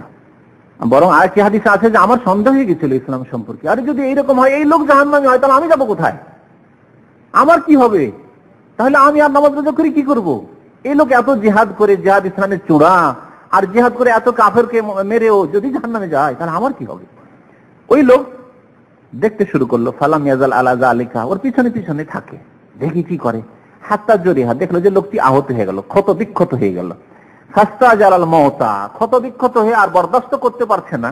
কাফের দেখে মারতে গিয়ে অনেক কাফেরকে জবাই করে নিজেও ক্ষত বিক্ষত হয়ে আর বরদাস্ত না করতে পারে মত সম্পর্কে সে তাড়াহুড়া করল, জলদিবাজি করল। ফাস্তা জালাল মত মতের জন্য সে কি করল? তাড়াহুড়া করল। অর্থাৎ অর্থাৎ কি করল? আত্মহত্যা করে ফেলল। আল্লাহ মত নিয়ে এসেছেন কি আসেননি, নিজেকে নিজে মেরে দিল। তার মানে সে মতের ক্ষেত্রে তাড়াতাড়ি করল।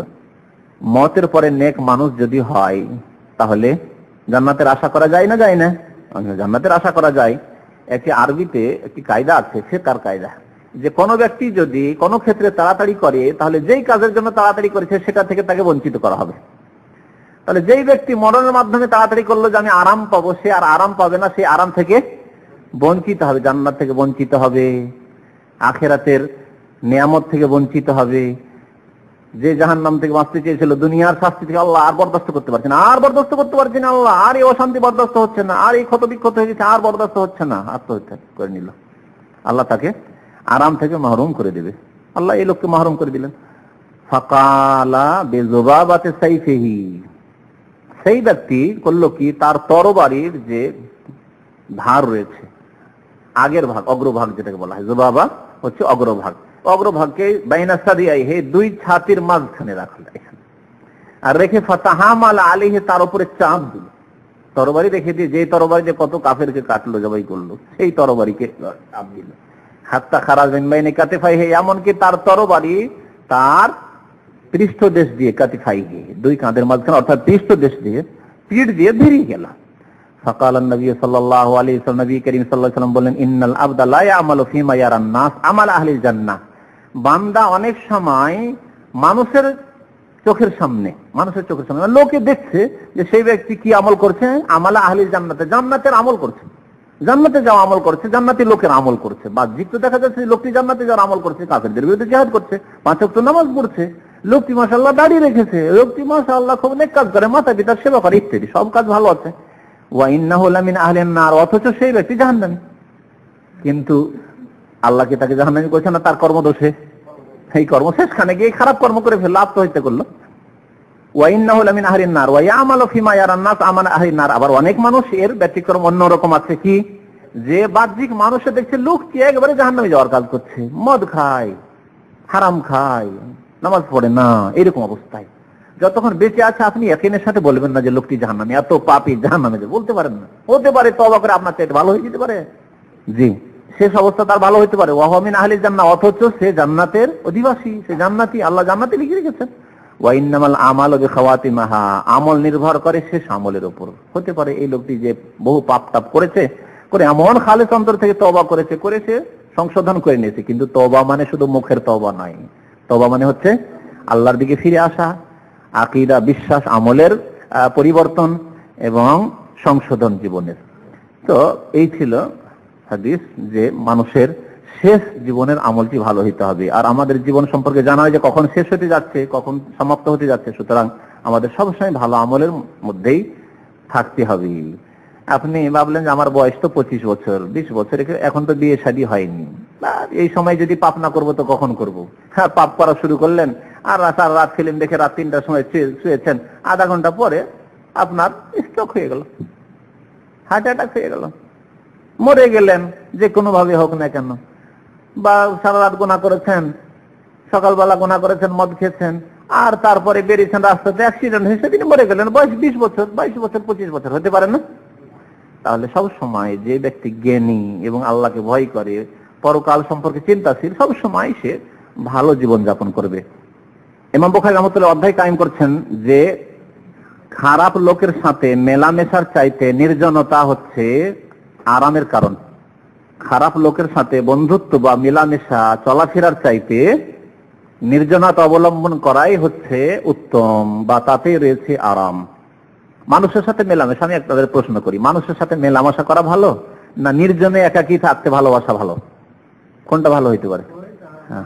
যদি সমাজ, পরিবেশ, যেখানে আপনি মানুষ হয়েছেন, যেখানে কাজ করছেন, যেখানে আপনি থাকেন, আপনার কর্মক্ষেত্র, বাসা বা বাড়ি, যেখানে আছেন, আপনার গ্রাম, যেখানে থাকেন, সেখানে যদি শত লোকদের সংখ্যা থাকে, শত লোকের আছে, যাদের কাছে বসলে, যাদের সাথে মেলামেশা করলে আমার ইমানে উন্নতি হবে। আমার ইমান তাজ, আমার চাইতে শত লোকের আছে, তাদের কাছে বসলে কিছু না কিছু ভালো শিখতে পারব এবং ভালো আমলের দিকে আগ্রহী হব। তাহলে তাদের সাথে মেলামেশা করা ভালো, নির্জনতা ওখানে অপছন্দনীয়। আপনি একাই আপনি মাশাআল্লাহ, খুব মুসল্লি মানুষ, খুব দিনদার মানুষদের লোকজনের সাথে মেলামেশা করলে সময় নষ্ট হচ্ছে। একাই ঘরের কোনায় বসে থাকেন সবসময়। মসজিদে গেলেন, চুপচাপ নামাজ পড়লেন, আবার চলে এলেন। মসজিদে গেলে নামাজ পড়লেন, চুপচাপ চলে এলেন। না, অপছন্দনীয় কাজ। মানুষের সাথে মেলামেশা করাই ভালো। ভালো লোক যদি সমাজে থাকে। ভালো লোক সমাজে থাকা মানে সবাই ভালো হবে এমন কথা নাই। মানে ভালোটা মাথা চাড়া দিয়ে আসার সেই পরিবেশে কিছু খারাপ লোক আছে তাদেরকে দাওয়াত দেবেন। কারণ দাওয়াত দেওয়ার জন্য পরিবেশ অনুকূলে রয়েছে। তাহলে ওই খারাপ লোকগুলিকে দাওয়াতও দিতে পারছেন, আর ভালো লোক আপনার চেয়ে ভালো মানুষ আছে তাদের থেকে থেকে আপনি উপকৃত হইতে পারছেন। এইরকম ক্ষেত্র হইতে হবে। পৃথিবীতে কোন জায়গায় একশো পার্সেন্ট ভালো মানুষ পাবেন না। কোথাও পাবেন না সুতরাং এই কথা কোনো- সময় চিন্তা করবেন না যে ভালো লোক আজকাল বেশি নেই, সুতরাং আমি না। যেখানে মোটামুটি ভালো লোক আছে, এখানে ভালোটাই মাথা চাড়া দিয়ে আছে। আপনি কিছু খারাপ লোক আছে, তাদেরকে দাওয়াত দিতে থাকেন। এটাও তো আপনার নেকির কাজ এবং আপনার দায়িত্ব। আর যেখানে দেখবেন না, অন্যায় মাথা চাড়া দিয়ে আছে। পাপ মাথা চাড়িয়ে আছে। ঘরে ঘরে পাপ। রুমে রুমে পাপ আপনার কোম্পানিতে হ্যাঁ? আপনার ভিলাতে তাহলে সেখানে আর মানুষকে নামাজের কথা বলেও পারছেন না আপনি। তাহলে তাদের সাথে মেলামেশা করবেন না? নির্জনতা অবলম্বন করবেন। নির্জনতা অবলম্বন করতে হবে। কারণ আপনাকে নিজে আগে বাঁচাতে হবে। আপনার দায়িত্ব পালন হয়েছে। যথেষ্ট করছেন। কাজ চালিয়ে যান। যতটুকু পারছেন আপনি। কিন্তু আপনাকে নিজেকে সেভ করার জন্য, নিজেকে বাঁচাবার জন্য নির্জনতা তখন উত্তম হবে। এটা কেয়ামতের কাছাকাছি সময়ে যখন কোন সমাজে দেখবেন যে পাপ বেশি ছড়িয়ে পড়েছে, আর পাপ থেকে আমি নির্জনতা অবলম্বন না করলে বাঁচতে পারব না, তখন নির্জনতা অবলম্বন করাই উত্তম হবে। এই ক্ষেত্রে হাদিস আবু সাইদ খুদির রাজি আল্লাহ তালা বর্ণনা করেছেন, যা রাবিউন ইলা নবী সাল্লাহ সাল্লাম, একজন যাযাবর, বেদুইন নবী সাল্লামের কাছে আসলো, এসে বলে ইয়া রাসূল আল্লাহ আল্লাহ রাসূল, আইয়ুন নাস খাইর কোন লোক বেশি ভালো? তাআলা নবী বলেন রাজুলুন জাহাদা বিনাফসিহি মালি যেই ব্যক্তি নিজের জীবন এবং ধন সম্পদ নিয়ে আল্লাহ রাস্তায় সশস্ত্র জিহাদ করল। এই ব্যক্তি উত্তম। আরেক লোক, ওয়ারাজলন ফিসেবি মিনাশিয়াব আর আরেকজন লোক হচ্ছে যে কোন পাহাড়ের ঘাটিতে ঘাটিতে লুকিয়ে আছে। ইয়াবুদুর আব্বাহ সেখানে আল্লাহর ইবাদত বন্দেগী করে। ওয়াদাউন নাসামিন শাররিহি এবং তার অনিষ্ট থেকে ওর মানুষকে ছেড়ে দিয়েছে যে, আমি কারও ক্ষতি করব না ক্ষতি থেকে বাঁচবো, আমার কেউ যাতে আমার ইমানের ক্ষতি না করতে আমলের ক্ষতি না করতে পারে এবং আমার দ্বারা কারও ক্ষতি না হয়, সেজন্য সে লুকিয়ে আছে। এটা কখন হবে? যখন দেখা যাবে যে সমাজের সাথে মিশলেই খারাপ হয়ে যাব আমি। এইরকমই আপনার ছেলে মেয়েদের ক্ষেত্রে। আজকালকার জামানে যদিও হয়তো আমাদের মতো বয়সের, আপনার মতো বয়সে যারা যে ভাইরা আছেন এখানে, বিশেষ করে যারা বিবাহিত, দায়িত্বশীল হয়ে গেছেন, তাদের ব্যাপারটা অন্যরকম খানিকটা। কিন্তু যদিও তাদের মধ্যে ব্যতিক্রম হতে পারে কিছু লোক। কিন্তু যারা মোটামুটি নামাজি, দিনদার, তাদের ক্ষেত্রে তাদেরকে গুমরা করে দিবে সমাজ এটা খুব খুব দূরের ব্যাপার, অনেকটা দূরের ব্যাপার। কিন্তু ছেলে মেয়েদের ক্ষেত্রে, আপনার গ্রামে, আপনার পরিবেশে, আপনার সমাজে, ঘরে ঘরে পাপ, ঘরে ঘরে টিভি, ঘরে ঘরে ফিল্ম আপনার ছেলে মেয়েদেরকে যদি ওই ছেলেগুলির সাথে মিশতে দেন, গ্রামের পাড়ার ছেলেদের সাথে মিশতে দেন, ছেলেগুলি খারাপ হয়ে যাবে। আপনি পরেশগার মানুষ আল্লাহ মানুষ, আপনার ছেলেগুলি বাইরে থেকে খারাপ হয়ে চলে আপনার বাড়িতে ফিল্ম নেই, আপনার বাড়িতে টিভি নেই, আপনার বাড়িতে গান বাজনা নেই। বাইরে থেকে ওই সব মুখস্থ করে চলে আসে। অসৎ সঙ্গী পেয়ে যাবে পাড়ায়, মহল্লায়। সুতরাং ছেলে মেয়েদেরকে কি করতে হবে? ওই পাহাড়ের ঘাঁটিতে রাখার মতো আপনার বাড়িতে রাখ বাবা মসজিদে যাও, নামাজ পড়ে ওসব রাস্তাঘাটে ওইসব গ্রামের ওইসব ছেলেদের সঙ্গে খেলাধুলো না। বাড়িতে বসো। স্কুলে ভালো একটা ইসলামিক প্রতিষ্ঠানে ভালো স্কুলে দেন, যেখানে নামাজ টামাজ ঠিক আছে, যেখানে অন্তত হারাম থেকে বেঁচে থাকে ওই রকম লেগে দেন। আপনি ওখানে গিয়ে আবার খারাপ ছেলে পাবে না। ওখানেও ভালো একটা পরিবেশ যাতে পায়, আর বাড়ির পরিবেশটা ভালো। আর তৃতীয় পরিবেশ, সমাজকে আপনি কন্ট্রোল করতে পারেন। সমাজ খারাপ হয়ে গেছে আজকাল। সুতরাং ওখান থেকে আপনার ছেলেকে বাঁচাতে হবে। তাহলে আপনার ছেলেকে সৎ করতে পারবে। আর এই তিনটি ক্ষেত্র যদি খারাপ হয়ে যায়, তাহলে ছেলেকে মানুষ করা যাবে না। আপনার নিজের বাড়ি খারাপ থাকে, ছেলে কখনো ভালো মানুষ হবে না। ব্যতিক্রম, ইল্লা মাশাআল্লাহ। মাদ্রাসা যেখানে স্কুল দিয়েছেন, সেটা যদি অন ইসলামিক স্কুল হয়, যেখানে ইসলামের কোনো আদর্শ শিক্ষা দেওয়া হয় না। আপনার বাড়িতে, মাশাআল্লাহ, আপনি হুজুর, আপনি পরেশগার, আপনার ছেলে কোনোদিন মানুষ হবে না। বরং একটু শিক্ষিত হয়ে যখন আসবে, ক্লাস এইট নাইনে পড়ে, আমার বাবা আগের যুগের মানুষ নাকি? আদমকালের মানুষ। কি কথা বলে আজকাল? আজকাল আজকাল স্বাধীনতার যুগ। আর ছেলে, মেয়ে আজকাল একসাথে না বসলে, তা মত বিনিময় না করলে আহ, তা কি আর উন্নতি হয় সমাজের দেশের উন্নতি করতে হলে একসাথে পড়াশোনা করতে একসাথে বসতে হবে কি কথাবার্তা বলে? আপনাকে অযোগ্য মনে করবে অযোগ্য বাবা অযোগ্য মা। কিছু জানে না দুনিয়া সম্পর্কে খোঁজ খবর রাখে না। আপনাকে বোকা বানিয়ে দিবে ছেলেরাতে অন ইসলামিক স্কুলে পড়ার কুপরিণতি। তো ছেলে মেয়েদেরকে তরবিয়ত করতে হলে এদিকে খেয়াল রাখতে হবে। নবী করিম সাল্লামের আরেকটি হাদিস, আবু সাইদ খুদি রাজি আল্লাহ তালা বর্ণনা করেছেন, যে নবী সাল্লামকে শুনেছি এখন ইয়াতি আলান্নাস জামানুন। এমন একটা যুগ আসবে যে খাইরো মালির রাজুলিল মুসলিম মুসলিম ব্যক্তির সর্বোত্তম ধন সম্পদ হবে আলগানাম ছাগল। সর্বোত্তম ধন সম্পদ হবে ছাগল। ইয়াত বাউ বিহা সাফাল জেবাল। সেই ছাগল নিয়ে, ছাগলের পাল নিয়ে, বকরির পাল নিয়ে সে পাহাড়ের উপরে চলে যাবে। ও মাওয়াকাল কাতার আর যেখানে বৃষ্টি, যে এলাকায় বৃষ্টি হয়, ঘাস, যেখানে বৃষ্টি হয়, সেখানে ঘাস হবে। সেই এলাকায় চলে যাবে, বকরি চড়াবে আর বকরি দুধ দিয়ে খাবে আর বস্তু খাবে আর ওখানে থাকবে। আর ফিতনা থেকে বেঁচে থাকে ফের রবে দিন মিনাল ফিতনা ফিতনা থেকে তার দিনের ধর্মের ইসলামের ইমানের হেফাজত করবে। এই একটা যুগ আসবে, নবী করিম সাল্লাম বলেছেন, এই যুগ চলে এসেছে না আরও আগামীতে আসবে? হ্যাঁ আপনাদের মত কি? হাদিস তো বুঝতে পেরেছেন না? কোন কোন কোন আলেমরা বলেছেন, ভাষ্যকার বলেছেন যে এই যুগ এসেছে। আর কোন কোন আলেমরা বলেছেন যে না, এক যুগ আসবে। সর্বোত্তম ধন সম্পদ হবে বকরি গানাম এই যুগ একটা যুগ ছিল, যে যদি বকরি ছাগলের মালিক বকরির পালের মালিক হতে পারেন, তো ভালো। ভালো পয়সা হলো মানুষ, আপনার কাছে বকরি আছে সম্পূর্ণ। বকরি দুধ দিচ্ছে, বকরিতে গোস্ত দিচ্ছে, কারও কাছে হইতে হয় না মানে কারও দ্বারস্থ হইতে হয় না। আর নিয়ে আপনি আরামে মাঠে, ঘাটে যেখানে আছেন খাচ্ছেন বেদুইনরা যেমন এ করেছে। বেদুইনরা বকরি, ছাগল নিয়ে যদি পাহাড় পাহাড়ি এলাকায় চলে যায়, যদি চলে যায়, যেখানে বর্ষা বৃষ্টি হচ্ছে, মরুভূমিতে চলে যায়, সেখানে থাকে, তাহলে রাজনৈতিক যে লড়াই, দ্বন্দ্বগুলি, ঝগড়াগুলি চলছিল, মুসলিমদের মধ্যে লড়াই, যে লড়াইগুলি ওমাইয়ারদের যুগে হয়েছে, যে লড়াইগুলি আব্বাসীদের যুগে হয়েছে, আব্বাসীরা যখন আসলো, তখন ওমাইয়াদের বাচ্চা বাচ্চা খোঁজ করে, কোথায় আছে? না নাবালক সন্তান পেল ধরো এই- এইসব ফেতনা থেকে বাঁচতে পারবে না পারবে না। আজকেও আওয়ামী লীগ আর বিএনপির যে লড়াই আর মারধর আর ভাঙচুর, শহরে না বাস করে যদি পল্লী গ্রামে বাস করেন, আর এসব রাজনীতি বুঝি না, চাষি মানুষ বকরি চড়াবো, খাব, গরু চড়াবো, আর গরু বকরি নিয়ে, এইসব নিয়ে, চাষবাস নিয়ে ব্যস্ত, তাহলে ওসব ঝামেলার মধ্যে আপনি না। ঝামেলা থেকে অনেকটা মুক্ত আছেন।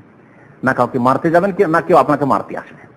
পক্ষান্তরে শহরে একটি উন্নত জায়গায় যেখানে চায়ের দোকান টোকান আছে, আজকাল তো প্রায় জায়গা হয়ে গেছে, গ্রামগুলোও শহরের মতো হয়ে গেছে।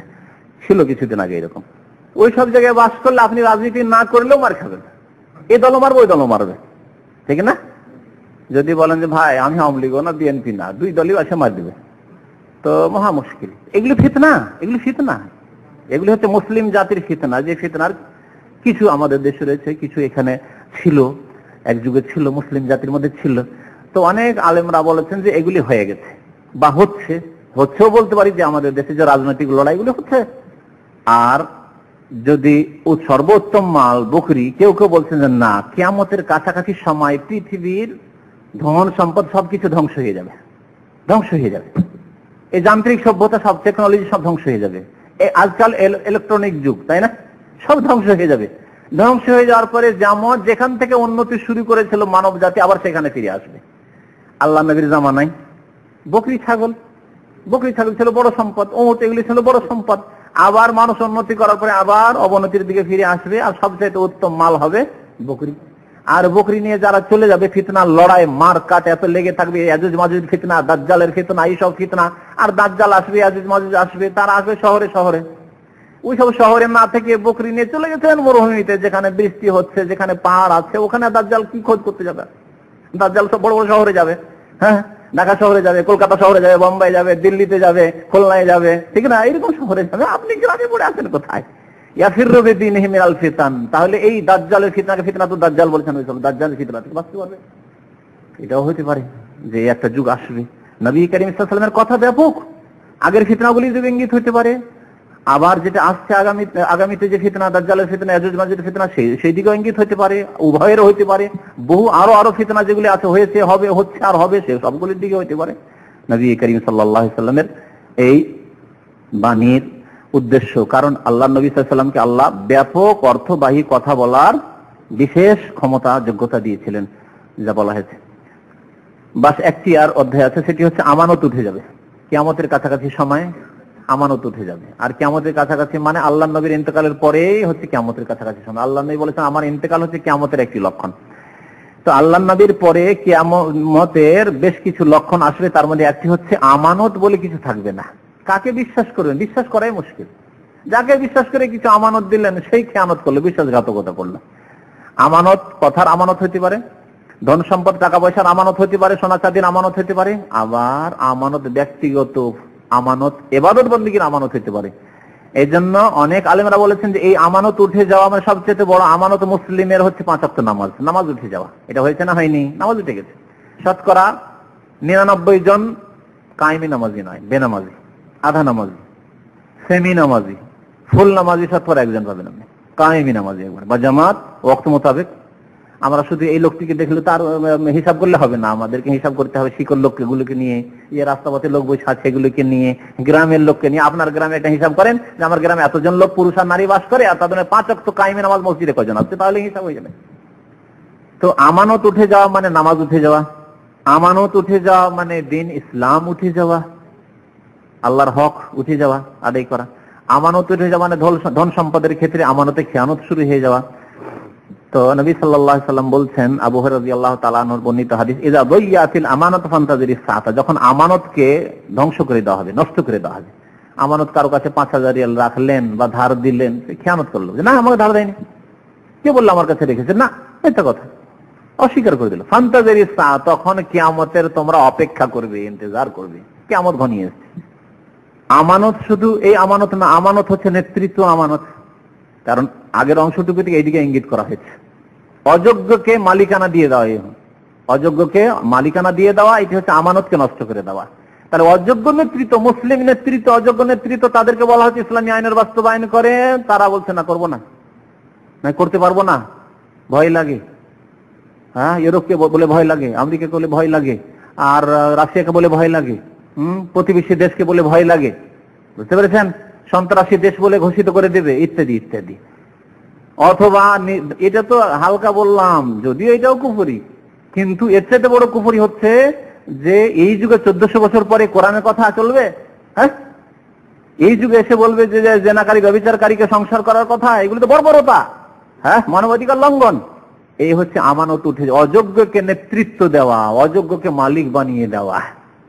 নবী সাল্লাল্লাহু আলাইহি সাল্লামকে জিজ্ঞাসা করা হলো, কাইফা ইয়াযাতুহা ইয়া রাসূলুল্লাহ? আমানত কেমন করে নষ্ট হয়ে যাবে? বললেন, কাল এদা উসরিদাল আমর এলা গায়রে একটি হাদিস আছে, এই হাদিস আছে, উসনিদাল আমর এলা গায়রে অযোগ্য ব্যক্তিকে, যে ব্যক্তি যোগ্য নয়, তাকে যখন কোনো দায়িত্ব দিয়ে দেওয়া হবে, ফান্তাজের ইসা তখন কিয়ামতের অপেক্ষা করবে, তখন দেখবে যে আমানত নষ্ট হয়ে গেছে, আর কিয়ামত কাছিয়ে এসেছে। বলছেন যে আমাকে দুইটি হাদিস শুনিয়েছেন। একটা চোখে দেখেই নিয়েছি আখার, আর দ্বিতীয়র অপেক্ষা করছি। দুইটি করেছেন, একটা দেখে নিলাম, আর আরেকটির অপেক্ষা করছি। নবী করিম বলেছেন, ইন্নাল আমানাতা নাজালাত হাদ্দাসানা। বলেছেন আমাদেরকে যে আমানত মানুষের অন্তরের অন্তরস্থলে, অন্তরের ভিতরে কি হয়েছে? নেমেছে, অর্থাৎ ইমান মানুষের অন্তরে মজবুত হয়ে নেমেছে সাহাবাই কিরামদের। সুম্মা আলিম মিনাল কোরআন, তারা কোরআন শিখেছে। সুম্মা আলিম মিনাস সুন্নাহ, তারা সুন্নাহ হাদিস শিখেছে। নবী তরিকা শিখেছে ওয়াহাদ্দাসান আন রাফিহা তা দেখলাম যে মানুষের অন্তরে ইসলাম নামবে, খুব সুন্দর হয়ে তা আমরা দেখলাম, সাহাবাই কিরামের জীবন দেখলাম। তারপরে নবী সাল্লাম আরেকটি হাদিস বর্ণনা করলেন আনরাফি হাজি এই আমানত অন্তর থেকে আবার ধীরে ধীরে উঠে যাবে। এই ইমান ধীরে ধীরে অন্তর থেকে উঠে যাবে। কেমন ভাবে উঠবে? নবী বলছেন একটা তরিকা তার। এনামুর রজল নৌমাতা, মানুষ রাত্রে ঘুমাবে। ফাতুক বাজুল আমানত মিন কালবেহি, তার অন্তর থেকে ওই ঘুমের অবস্থায় আমানতকে উঠিয়ে নেওয়া হবে। সকালবেলা বেইমান হয়ে উঠেছে, ঘুম থেকে উঠেছে। সন্ধ্যাবেলা নামাজি ছিল, সন্ধ্যাবেলা বিশ্বস্ত ব্যক্তি ছিল, ইমানদার ছিল, ভয় করতো যে মানুষের এক পয়সা খাব খাব না, সকালবেলা উঠেছে, না অসুবিধা নেই। আমার যে ইনকাম তাতে চলে না। সুতরাং এইসব বেইমানি করে বড় লোক হইতে হবে। হারাম খেয়ে বড় লোক হইতে হবে। আর নামাজ পড়ে কিছু পাই না, পেলাম না। মন মেজাজ অন্যরকম। যারা নামাজ পড়ে না, তারাই দেখি বেশি উন্নতি করেছে। শয়তান এভাবে গুমরা করছে। জি। সকালবেলা আমানত অন্তর থেকে উঠে গেছে। ফায়াজাল্লু আসারুহা মিসলা আসারিল ওয়াকাতি। কিন্তু এই আমানত অন্তরে ছিল, সন্ধ্যাবেলা ছিল, আর সকালবেলার আমানত অন্তরে নেই। এর একটা কি থাকবে? দাগ থাকবে, আসার। তার একটা দাগ থেকে যাবে কিসের মতো? মিসলা আসারিল ওয়াক্তি। কিসের দাগ? আগুন পড়ে গিয়ে যে ফসকা উঠে সেই ফসকার দাগের মতো। ওয়াক্তের তফসির করেছেন যে হালকা দাগ, হালকা আগুন পড়েছিল, হালকা দাগ হয়েছে, ফসকা হয়েছে। সোম্মা এনামুন মাতা আবার শুইবে। আরেকদিন শুইল অথবা দিনে শুইল। ফাতুক বাজো তখন পুরোটা উঠিয়ে নেওয়া হবে। ফায়াব কাসার ওহা মিসাল মজলে। তারপরে তার একটা দাগ থাকবে অন্তরে। কার মতো? এটা মজলের তফসির করেছে, আসারুল আমাল ফিল কাফি হাত দ্বারা বেশি মেহনতের কাজ করলে, ভারী কাজ করলে, কুড়াড়ি, কুলাড়ি নিয়ে কাঠ ফেড়েছেন? কাঠ ফেড়েছেন কেউ? যে কাঠ ফেড়েছে সে জানে। আমার মতো লোক হাত এত নরম আছে, যদি আমি পাঁচ মিনিট করি তো খালাস তো কাজ করার কারণে যে হাতে ফসকা পড়ে যায়, তাকে মজল বলে। ফায়াম কাসার ওহা মিসাল মজলে। আর আমরা দুটো কি ফসকা বলি বাংলায়, তাই না? ফসকা পড়ে যাওয়া বা ফসা পড়ে যাওয়া, দুটোই লিখেছে কাজামরিন দাহারাজতাহু আলা রিজলে কান অগ্নি শিখার মতো। আগুন ছিল, আগুনকে আপনি হঠাৎ করে ফেলে দিয়েছেন, আপনার পায়ের উপরে পড়েছে ফানা সেটা পায়ের উপরে পড়ার পরে সে ফোসা উঠে গেল। ফুলে উঠেছে। যে ফুলে উঠেছে আপনার পায়ে। ওর মধ্যে কিছু আছে, পানি ছাড়া আর কিছু নেই। সেই ফসকার মধ্যে বা ফসার মধ্যে কিছু নেই। ফাইউস বেহন নাফিয়াতা বায়াউন। তারপরে সকালবেলা তারা কেনা বেচা শুরু করবে। ধারের উপরে কেনবে বেমানি করবে। লাখ লাখ কোটি কোটি টাকার আজকাল আত্মসাত হচ্ছে। বাংলাদেশের সাথে ভারতের যারা গরুর ব্যবসায়ী, তাদের খোঁজ খবর রাখি। এদিক থেকে ওই দিকে মেরে নিয়ে চলে গেল ওই দিক থেকে এই দিকে মেরে গেল ঠিক আছে, তোমাকে দিব, দিলই না। এই আত্মসাত চলছে। একটা উদাহরণ, বহু উদাহরণ এরকম চলছে। বহু উদাহরণ পাবেন। টাকা পয়সা হাতে পড়ে গেছে। ধার সামান্য, আপনি এত দূরের কেন উদাহরণ দিতে যাবেন? আজকালকার জামানে কাউকে ধার দিয়ে দেন। আর তারপরে তার কাছে চাইবেন, চাইলে তার চোখ গরম দেখতে হবে। চাইলে অসন্তুষ্ট। আপনি সারা জীবন যদি না চান দেবে না আর চাইলে অসন্তুষ্ট, কি মসিব দিয়েই ভুল করলেন আপনি?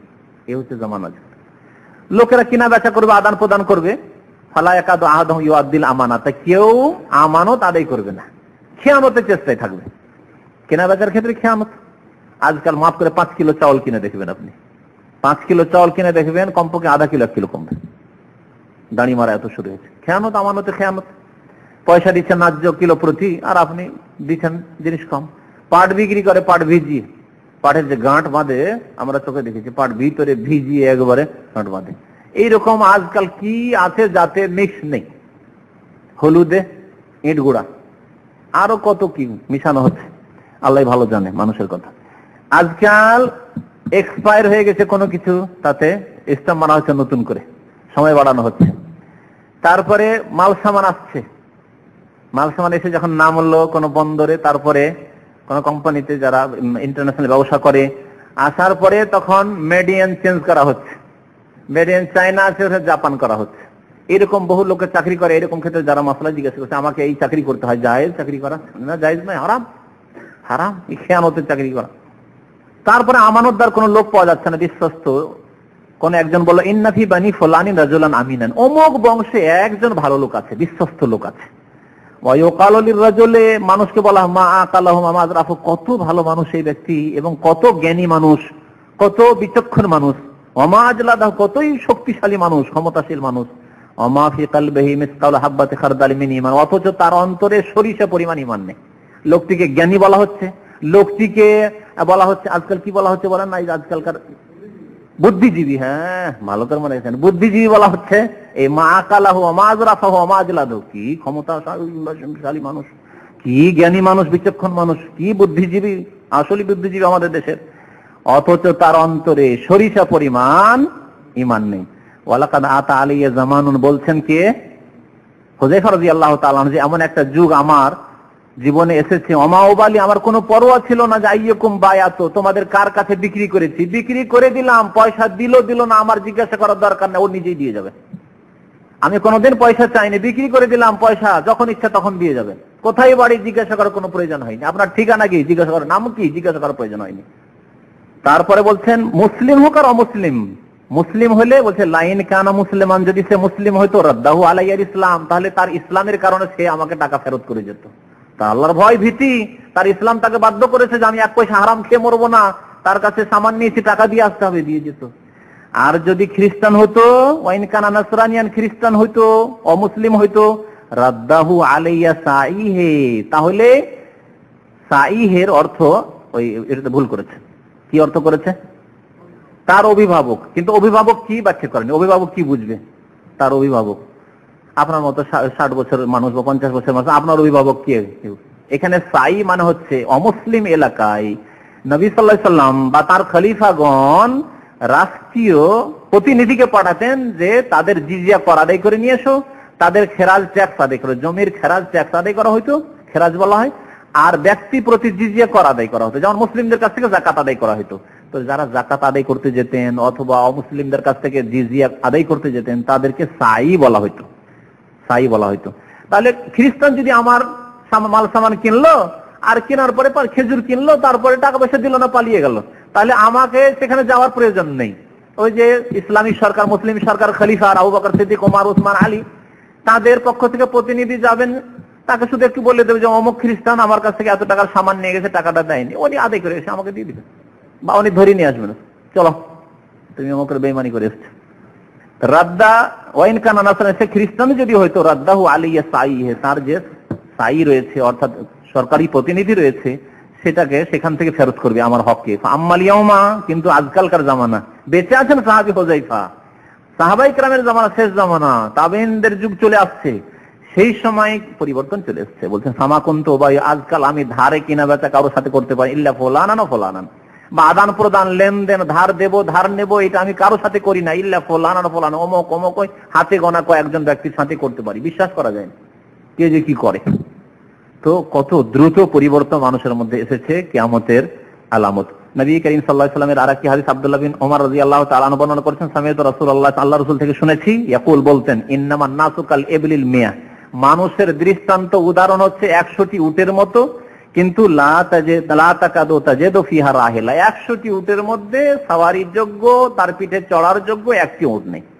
এমন একটা যুগ আসবে যে মানুষ ওই রকমই হবে। মানুষ তো হাজার হাজার লক্ষ লক্ষ, মুসলিম তো কোটি কোটি। কিন্তু কাজের মুসলিম, খাঁটি মুসলিম একটিও পাওয়া যায় না। এই উদাহরণ দেওয়ার জন্য বলেছেন যে মানুষ এমন একটা যুগ হবে তখন একশোটি উটের মতো হয়ে যাবে। একশোটি উট একটা লোকের কাছে আছে, কিন্তু একটাও সওয়ারির যোগ্য না। কোথাও যাবে তো কোনোটা পিঠে চড়তে পারছে না। সব দুর্বল আর বেকার উঠ।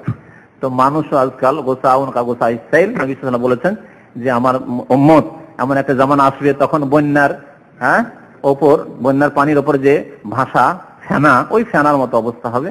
তখন কাফেররা তাদেরকে নিয়ে ছিনিমিনি করবে। আল্লাহ যেন আমাদেরকে হৃদায়ত দান করেন, আমাদেরকে সৎ আমলে তৌফিক দান করেন। আল্লাহ ফাকরাবুল আলম আমাদের গোনা খাতা মাফ করেন। নেক আমলে তৌফিক দান করেন, তোবা করে আল্লাহর দিকে ফিরে আসার তৌফিক যেন দান করেন। আমিন ও সাল্লাহ নবীনা মোহাম্মদ